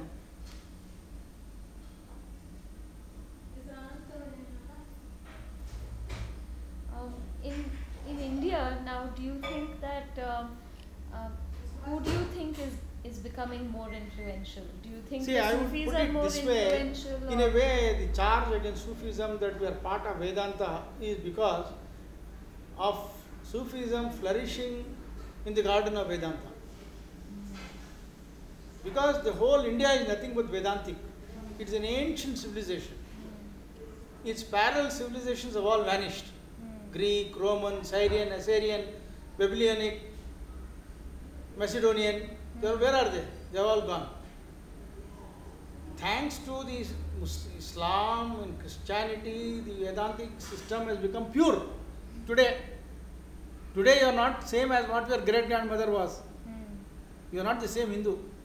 You have Hindus are not supposed to cross the seas. You are going and living in America. Hmm. You are wearing a foreign dress, but in mind and heart you continue to have the compassion of a Hindu. So Hinduism doesn't mean one who lives across the river, river in sin. That is, they practice the goodness. They might have adopted the multiplicity of the theory of godhood for the purpose of having an individual goal and individual God to follow. So Sufism has been able to find very good roots in India because of the Indians, nature of the Indians, nature of the Hindus, to accept anything which comes to them. So there is no danger at all for Sufism insofar as India is concerned. Even if uh, Wahhabism comes in in such a force which here with all the terrorist activities, but it is only a little uh, trying to throw a pebble inside the uh, water. These uh, terrorist activities will be only a short-lived thing, and it has been there. It has uh, terrorism has taken place, uh, not from today itself. It has been it, it, it has been in existence in our history. Hmm. If uh, there was a war of Kalinga war, or if there was a car of Kshatriyas or the, the brothers Mahabharata, it was nothing but uh, if you see the stories, how they have weapons which they had at that time which they threw at each other. Are they not uh, like the present terrorists? Did it take away? Did it take away Ram Rajya? Supposed to have been ten thousand years after Rama having uh, killed the Ravan. He had supposed to have ruled for ten thousand years. So Ram Rajya was for ten thousand years. So before Ravan, at the time of Ravan, there must have been a lot of dem- demons, and they had various type of uh, weapons for fighting, and he also had various weapons. So this aspect of creation and destruction is not in the human uh, system. It is in the universal system that is God. God is Shiva. God is a destructor. God is a Kahar, destroyer. God is a creator. Father is a, he is also a sustainer. He is a nourisher. So these 99 qualities of God keep playing. That is why we say Maya. We say there is a big myth which is taking place. Myths are being created, stories are being created. So this play which is there on the stage keeps going on for years and millions of years. So, but we, man, having discovered certain truths, has meddled with the nature to cause his own destruction. Maybe we are nearer to the Qiyamah which God is speaking about. You are creating your own. And if you want God's mercy, you have to come back to Vedantic or the Sufistic or the uh, Gnosis of Christianity. Whatever you may name, you may give. Ultimately, the theme is love of love for creator, love for man. God Himself in Quran says. If you want to love me, love me deeply. Single-minded devotion and love. So, in order to cherish love, India has got a very good uh, this one um, environment. and it is not materialistic world. A poor of the poor shares his table with the richest of the rich in a hotel, which you may not find in America or in uh, foreign countries. You need to have certain standards to move in a certain particular aspects, but it is not so in India. India, a poor, a rich, a lower caste, a higher caste can mingle and uh, pray, can uh, choose their way of life, they share their joys and happiness, which you may not find in a materialistic, consumeristic society. The permissive societies. European society has become a permissive society where uh, there is no shame. There is a nude clubs are there and uh, various ways of uh, uh, pervert uh, activities are going on, which our society shuns. It may be underground. It is not that our uh, society free from it, but it is underground. It is not so open and legalized. Homosexuality is being legalized, lesbian being legalized. Our society will look at it with uh, contempt. That is because we have a shame in our eyes. We have in our mind and heart certain aspects of elements of God. So long as God exists in India, either in idolatry or whether it in the oneness feeling, God is in existence. See, God as a feature is independent of not being God. In Western countries, there is no God at all. Here we have God. Hindus, Muslims, Christians, everyone have got a God. So you may say, I may believe in multi-million gods or whether believe in one God. Ultimately, in the heart, you have multi-million gods. So the God externally you may create idols, but internally, even if a person who believes in one God may have hundred idols in his mind. So as exists, so long as there is existence of the philosophy of God in India, Sufism will survive.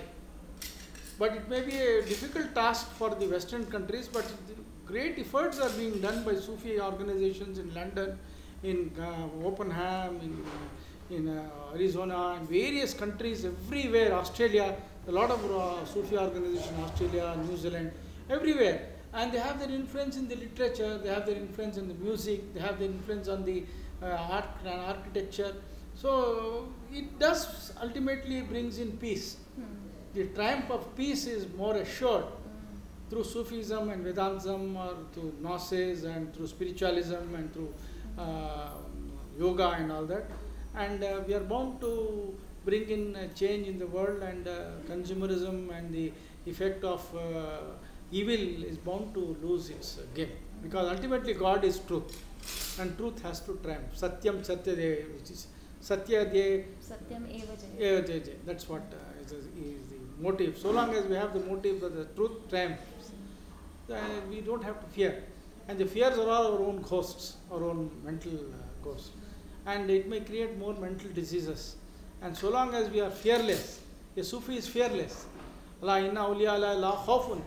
All my saints are fearless. So you- when you are fearless, you have nothing to worry about. That is, we are create we are creating certain self-confidence in all those who come in our uh, contact to say that we can fight the evils of the world. We can overcome the difficulties of the world, overcome the difficulties of the life. And with our own personal examples, we are able to show that we have uh, lived this life and you can also live a life more happily and more content. Get, put that off for some time, otherwise the tape may get. You have put off? it's okay. No, while you are eating, no? Is oh, there? You can save. yeah. Um, Can you give me a CD of this? I will put it on the internet. certainly, I can make a CD of Theoretically, Sufism cannot be learned. If you think that you have learned Sufism through books or through your research, you are on a very slippery floor. Sufism has to be learned through your self analysis, through your uh, being in company of Sufis, being practicing it in your heart and mind. You have to take out time, you have to take a decision that unless I practice Sufism to some extent, in the way, whether as a Hindu or as a Muslim or as a Christian, whatever it is, you may give a label. Unless I practice it, I will not be able to achieve my goal of being a scholar. You must realize that.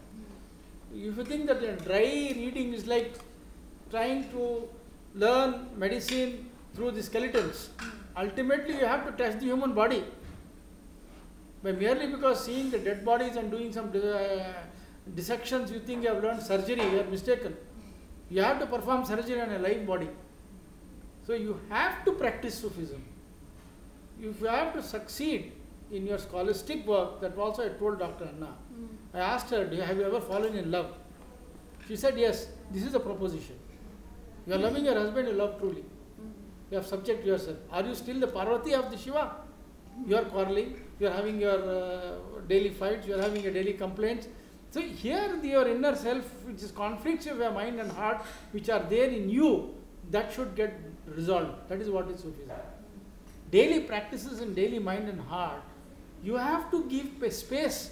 You have to create a space in your mind and heart for certain compassion, for mercy, for love, for charity, for sincerity, for uh, contentment, fully being content with what you have, being uh, sharing your sari. Suddenly, a beggar may come in the house and you may develop compassion. You must have the heart to give the best which you have in the name of the Lord, not for any reward. The reward is the your compassion which you have done. And you may share your wealth, you may share your uh, time, you may share your pleasure, the pleasure for the work, pleasure. Unless you practice it, you will not be able to understand what the Gausi has done, done and what uh, the Moinuddin Chishti did. How, he- if you want to feel his experience, because you are reading Sufism, Mm. you have got to feel how exactly Moinuddin Chishti felt when he did that uh, particular act. Unless you have done that act, you will not get that feeling in your mind and heart. So you have to practically do certain penance in the morning. You may have to get up and do certain recitation or chanting. You do it in the your own way, or in the Sufi way, or Sufi master who has given you. It is not that you are get, getting converted, but you are only trying to realize the inner self. You have to do it. When you realize your inner self, you are a Sufi, and your your, your thesis will be more having lively. It will be more uh, meaningful, and you will reach the truth in the correct path, quicker, clearer, with clarity, with openness, with devotion, and your uh, there is your originality in your work, and you are original Sufi by yourself, like Idries Shah. Mm. You must have seen a lot of works of Idries Shah. He was a Sufi of India. He went and did lot, and he wanted to expose Sufism to the world. Or like uh, Inayat Ali Khan, who was able to his music uh, show Sufism to the world. So you, you, can become a Mira, you can become a Kabir, you can become uh, Moinuddin, you can become Gesudaraz. After all, you need to capture the spirit. Once you capture the spirit in your mind and heart and practice it in a daily movements when you are going in the car, when you are going in a taxi, when you are sleeping, when you are awake in your consciousness, then uh, the Sufism becomes part and parcel of human life and your work becomes easier for you. You, if you think you can uh, live in your own way and then do the research and becomes Sufism becomes a great burden for you. It will be like a donkey who carried the books of Moses for 40 years. He remained a donkey forever. So, uh, my appeal to you is when you are reading a particular subject on Sufism, try to capture its spirit. Once you start doing it, there will be inner change in your consciousness and in your mind, in your thinking, and you will evolve yourself into a better uh, person. And you will be, as your growth keeps taking in you, there will be a growth in your uh, work also. You will be able to do masterly work, and there are number of dreams which will come to you. You will be able to analyze your dreams. You will be able to, your own personality gets projected in your dreams. So the Sufis were uh, masters of uh, reading signs and uh, dreams, interpretation of dreams. You have read uh, Sigmund Freud's interpretation of dream. He gave opened up the subject of psychotherapy. It was uh, given a di- different dimension by Carl Jung and by Murphy, and greater uh, still further. And today, in through dreams, one can uh, find out the illness in which your uh, personality is, where your ego is, where your fears are, where exactly you are standing. So your inner consciousness keeps projecting it on their mind's uh, screen, and you will be able to read it. Otherwise, you are living, you are seeing dream, you don't know what the dream is about. You have ignored it. So ultimately, you, one particular point of time, you may realize that you have wasted your life. So in case if you want to become conscious of yourself, and you start self-realizing it, you will be able to read your signs which you are seeing in your life, and also in the dreams, and your inner consciousness will get purified, and your uh, purification of heart and soul will become simple for you. The burden which you may feel on your shoulders, the baggage which you carry will become lighter.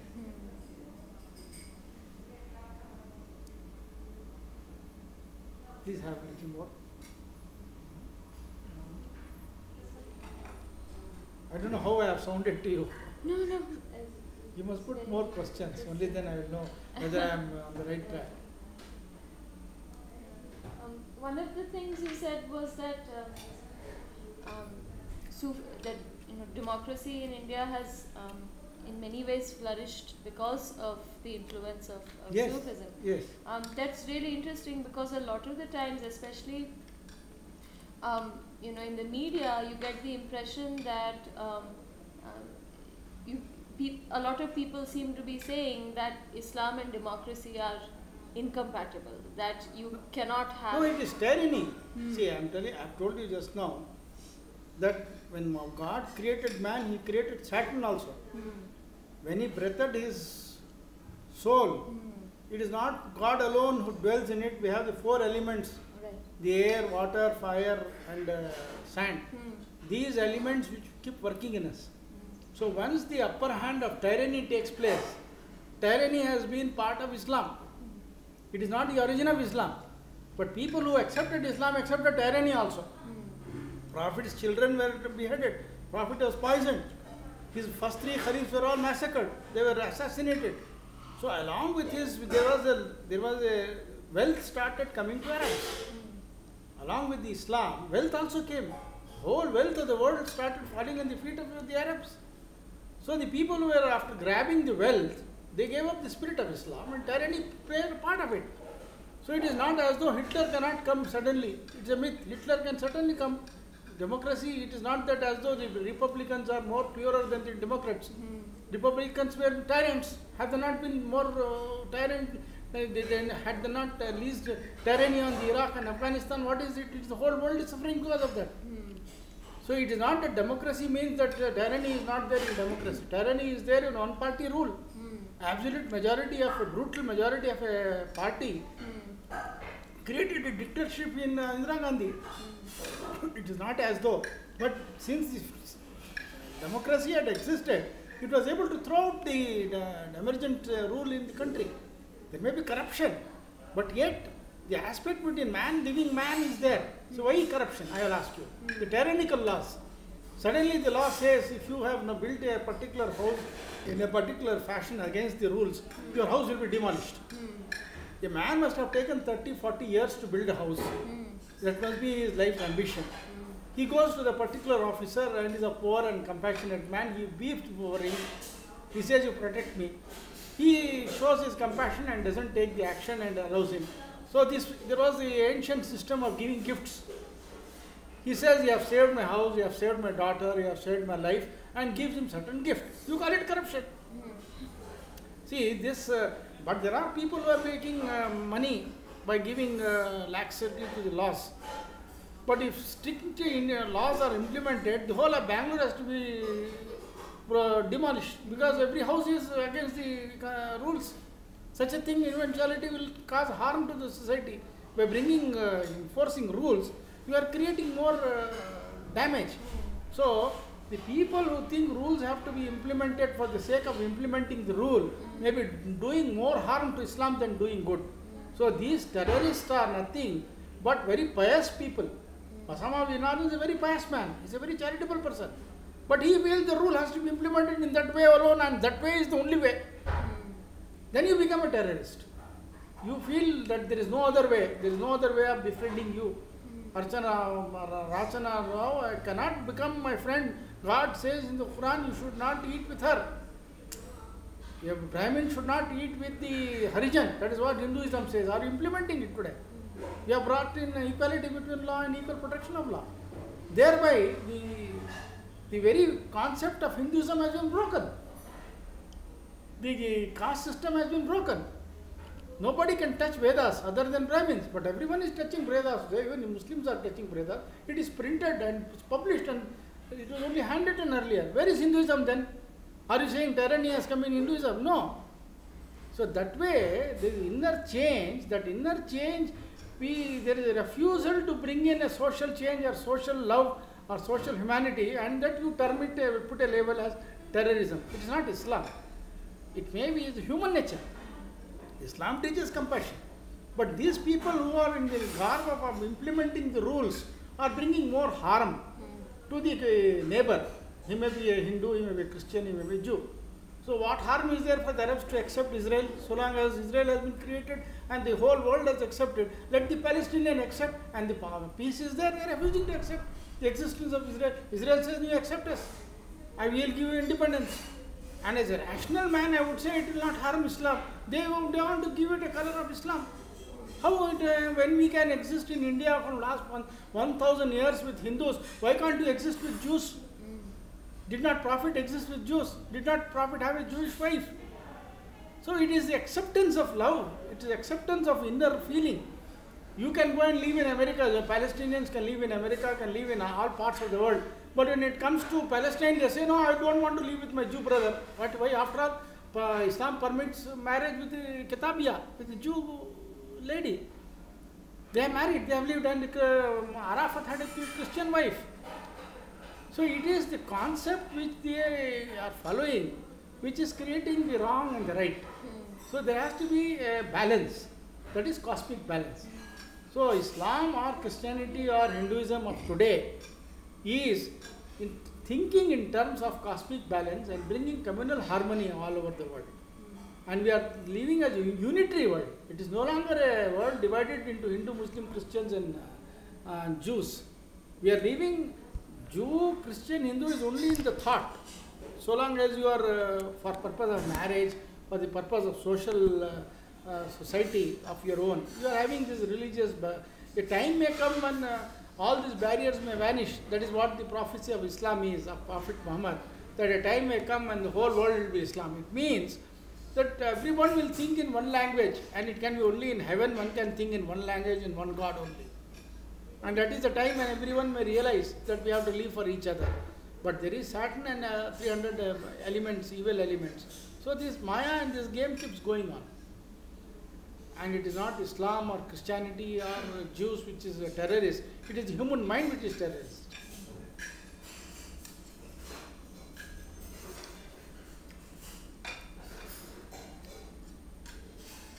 Please have biscuits.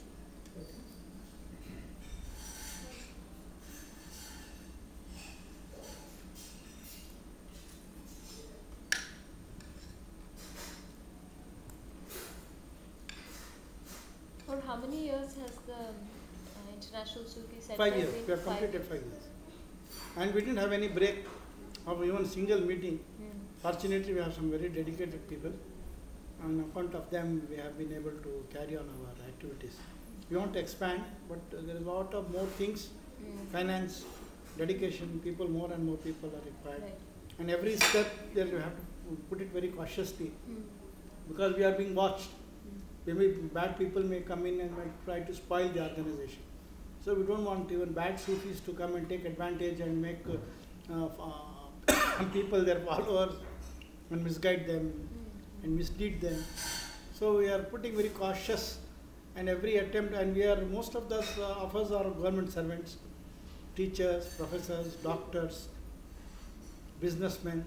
So we have a cohesive uh, society and slowly and steadily we are uh, trying to revive the old thoughts and with the synchronizing it with the syncretic culture of Hinduism, Christianity, Judaism, and the modern thought of uh, philosophies also. It is not as though we cannot find a common ground with the American philosophy or British philosophy or British system. So long as we realize that man has to be good and he has to achieve mastery over himself, then we have found a commonality. It's not difficult at all to find commonality. You may, you may be agnostic, be, be an agnostic, but can you deny you have a self in you? That you have evil and good in you?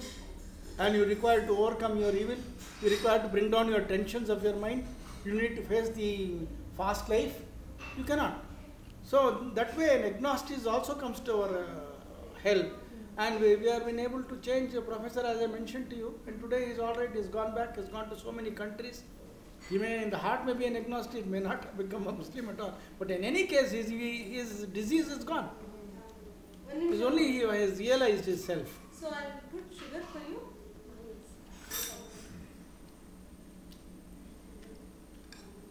This one's good. Hello.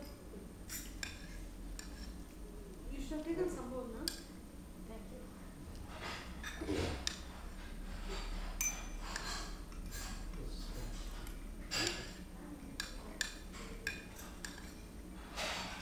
What ways would you like to expand the organization? We have our uh, uh, trustee, wherein all our objectives, aims, everything has Is been. Is it possible to have a copy I can give a copy. that? Oh yes, oh, I'd be very interested to read that. So we have uh, all the objectives of, of social work to start schools, colleges, hospitals, etc., etc., any other uh, big Oh, games. yeah. But how far we will succeed, we cannot know. If we have a Satya Sai Baba in us, somebody comes like a Satya Sai Baba, our aims become very simple.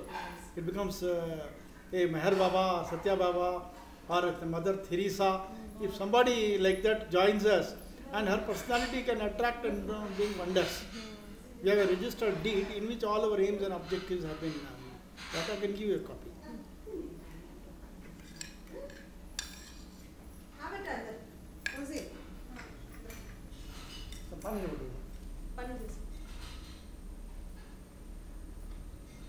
Take some biscuits.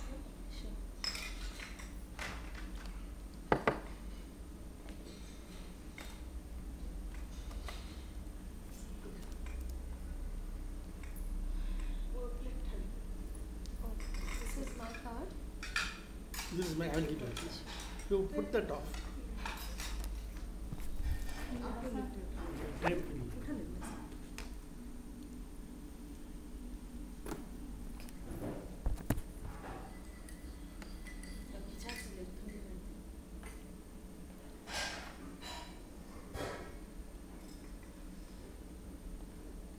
Thank you. Please have your tea. We have a very interesting person by name Venkata Krishna. He is a Brahmin here. He also came with certain problems with us to me. Uh, he's a close friend of the other uh, person, Yoginder Sikand. And uh, he was very much impressed and he calls me as Pirsa. Hazrat ji, you are my guru. After all, I have not asked him to change his uh, early bath and becoming a true Brahmin. He continues to be a Brahmin. But he, has, he says, I am grateful to you that, uh, and he comes in great devotion and sits in the meeting. So it is the commonality of our thought and practices which unites. Say, birds of same feather flock together. I think I'll be meeting um, Dr. Yogi Sikand um, in a few days. Yo- Yoginder? Yes, in a few days. Ah, he is that person whom I mentioned to you. Oh, I see, I Uh, he is, uh, today he has gone to Srirangpatna to that madrasa there.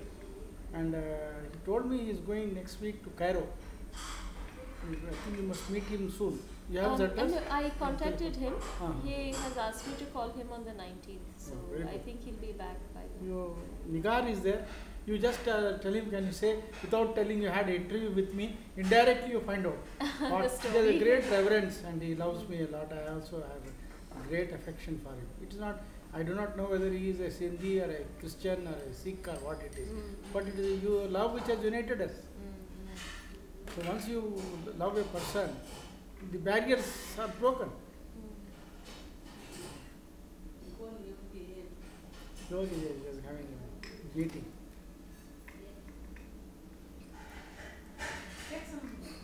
He too is very prolific. He writes so much. He has written quite a lot, quite a lot. I sometimes wonder when he sleeps. His wife is uh, the editor for uh, Nigar Ataullah, Uh, she's the editor of the journal. These, uh, uh, Islamic voice. Oh, she is the editor of Ah, Islamic but Voice. Sadat, Sadatullah Khan is the owner. Huh, He has started Discovery of Self lectures and going around all over the world huh. giving lectures on discovery of self, mostly in Muslim countries. Is Islamic Voice, is that not that same which you said was a Wahhabi? It is. But So how is that, this uh, discovery of self, even Wahhabis speak about it. Huh. But at the same time, they are too dogmatic in uh, following the strict rules. Huh. As I said, Hmm. here the, um, the corporation officials will turn an Nelson's eye Hmm. to damage your property all over Bangalore, Hmm. and they may accept in return certain gifts. But they would say it is necessary, let the country live like that. A- But uh, the Wahhabi will say nothing, rule is rule, whole world goes, let it go. Hmm. Cut the hands, you have done theft. So how many hands are you going to cut? Hmm. Are you going to have physically handicapped nature or with legs and ha- hands cut? You need to reform. Today, the social reformation is the answer of prison reformation, not uh, punitive uh, punishments. No? Punitive punishment days have gone. Corporeal punishments are not recommended. Even capital punishment is banned. Are you going to say, no, I am going to enforce uh, blood for blood, uh, tooth for a tooth, eye for eye? This is what the Mosaic, like Moses' law says, Ten Commandments says, this is what Christian says, this is what Islam says. Then you will have only thorn all over the world, you will not have flowers at all. So, a certain element of corruption will be there. That is, uh, corruption is only to bring in good. So, that is why people, there are people who take money and do puja every morning. Every morning they are very, they go to Venkateshwara and give that uh, golden, uh, but you would have made a lot of money in the contracts. See, it has become a system, but so long as it doesn't create destruction for humanity and doesn't take away the rights of human beings, we have to turn a Nelson's eye to it because it is human nature. Human nature is very weak. Zero nine four eight zero eight zero four eight zero four eight zero six three one seven eight six. This is it? Thank you. Um, this is my card. Thank you very much. Um, the first number that I've written below with a pen. You can be in touch with me. I'll give you my uh, separate independent uh, internet. Yes. have mailing address? also? That's what I'm Yes, saying. yes.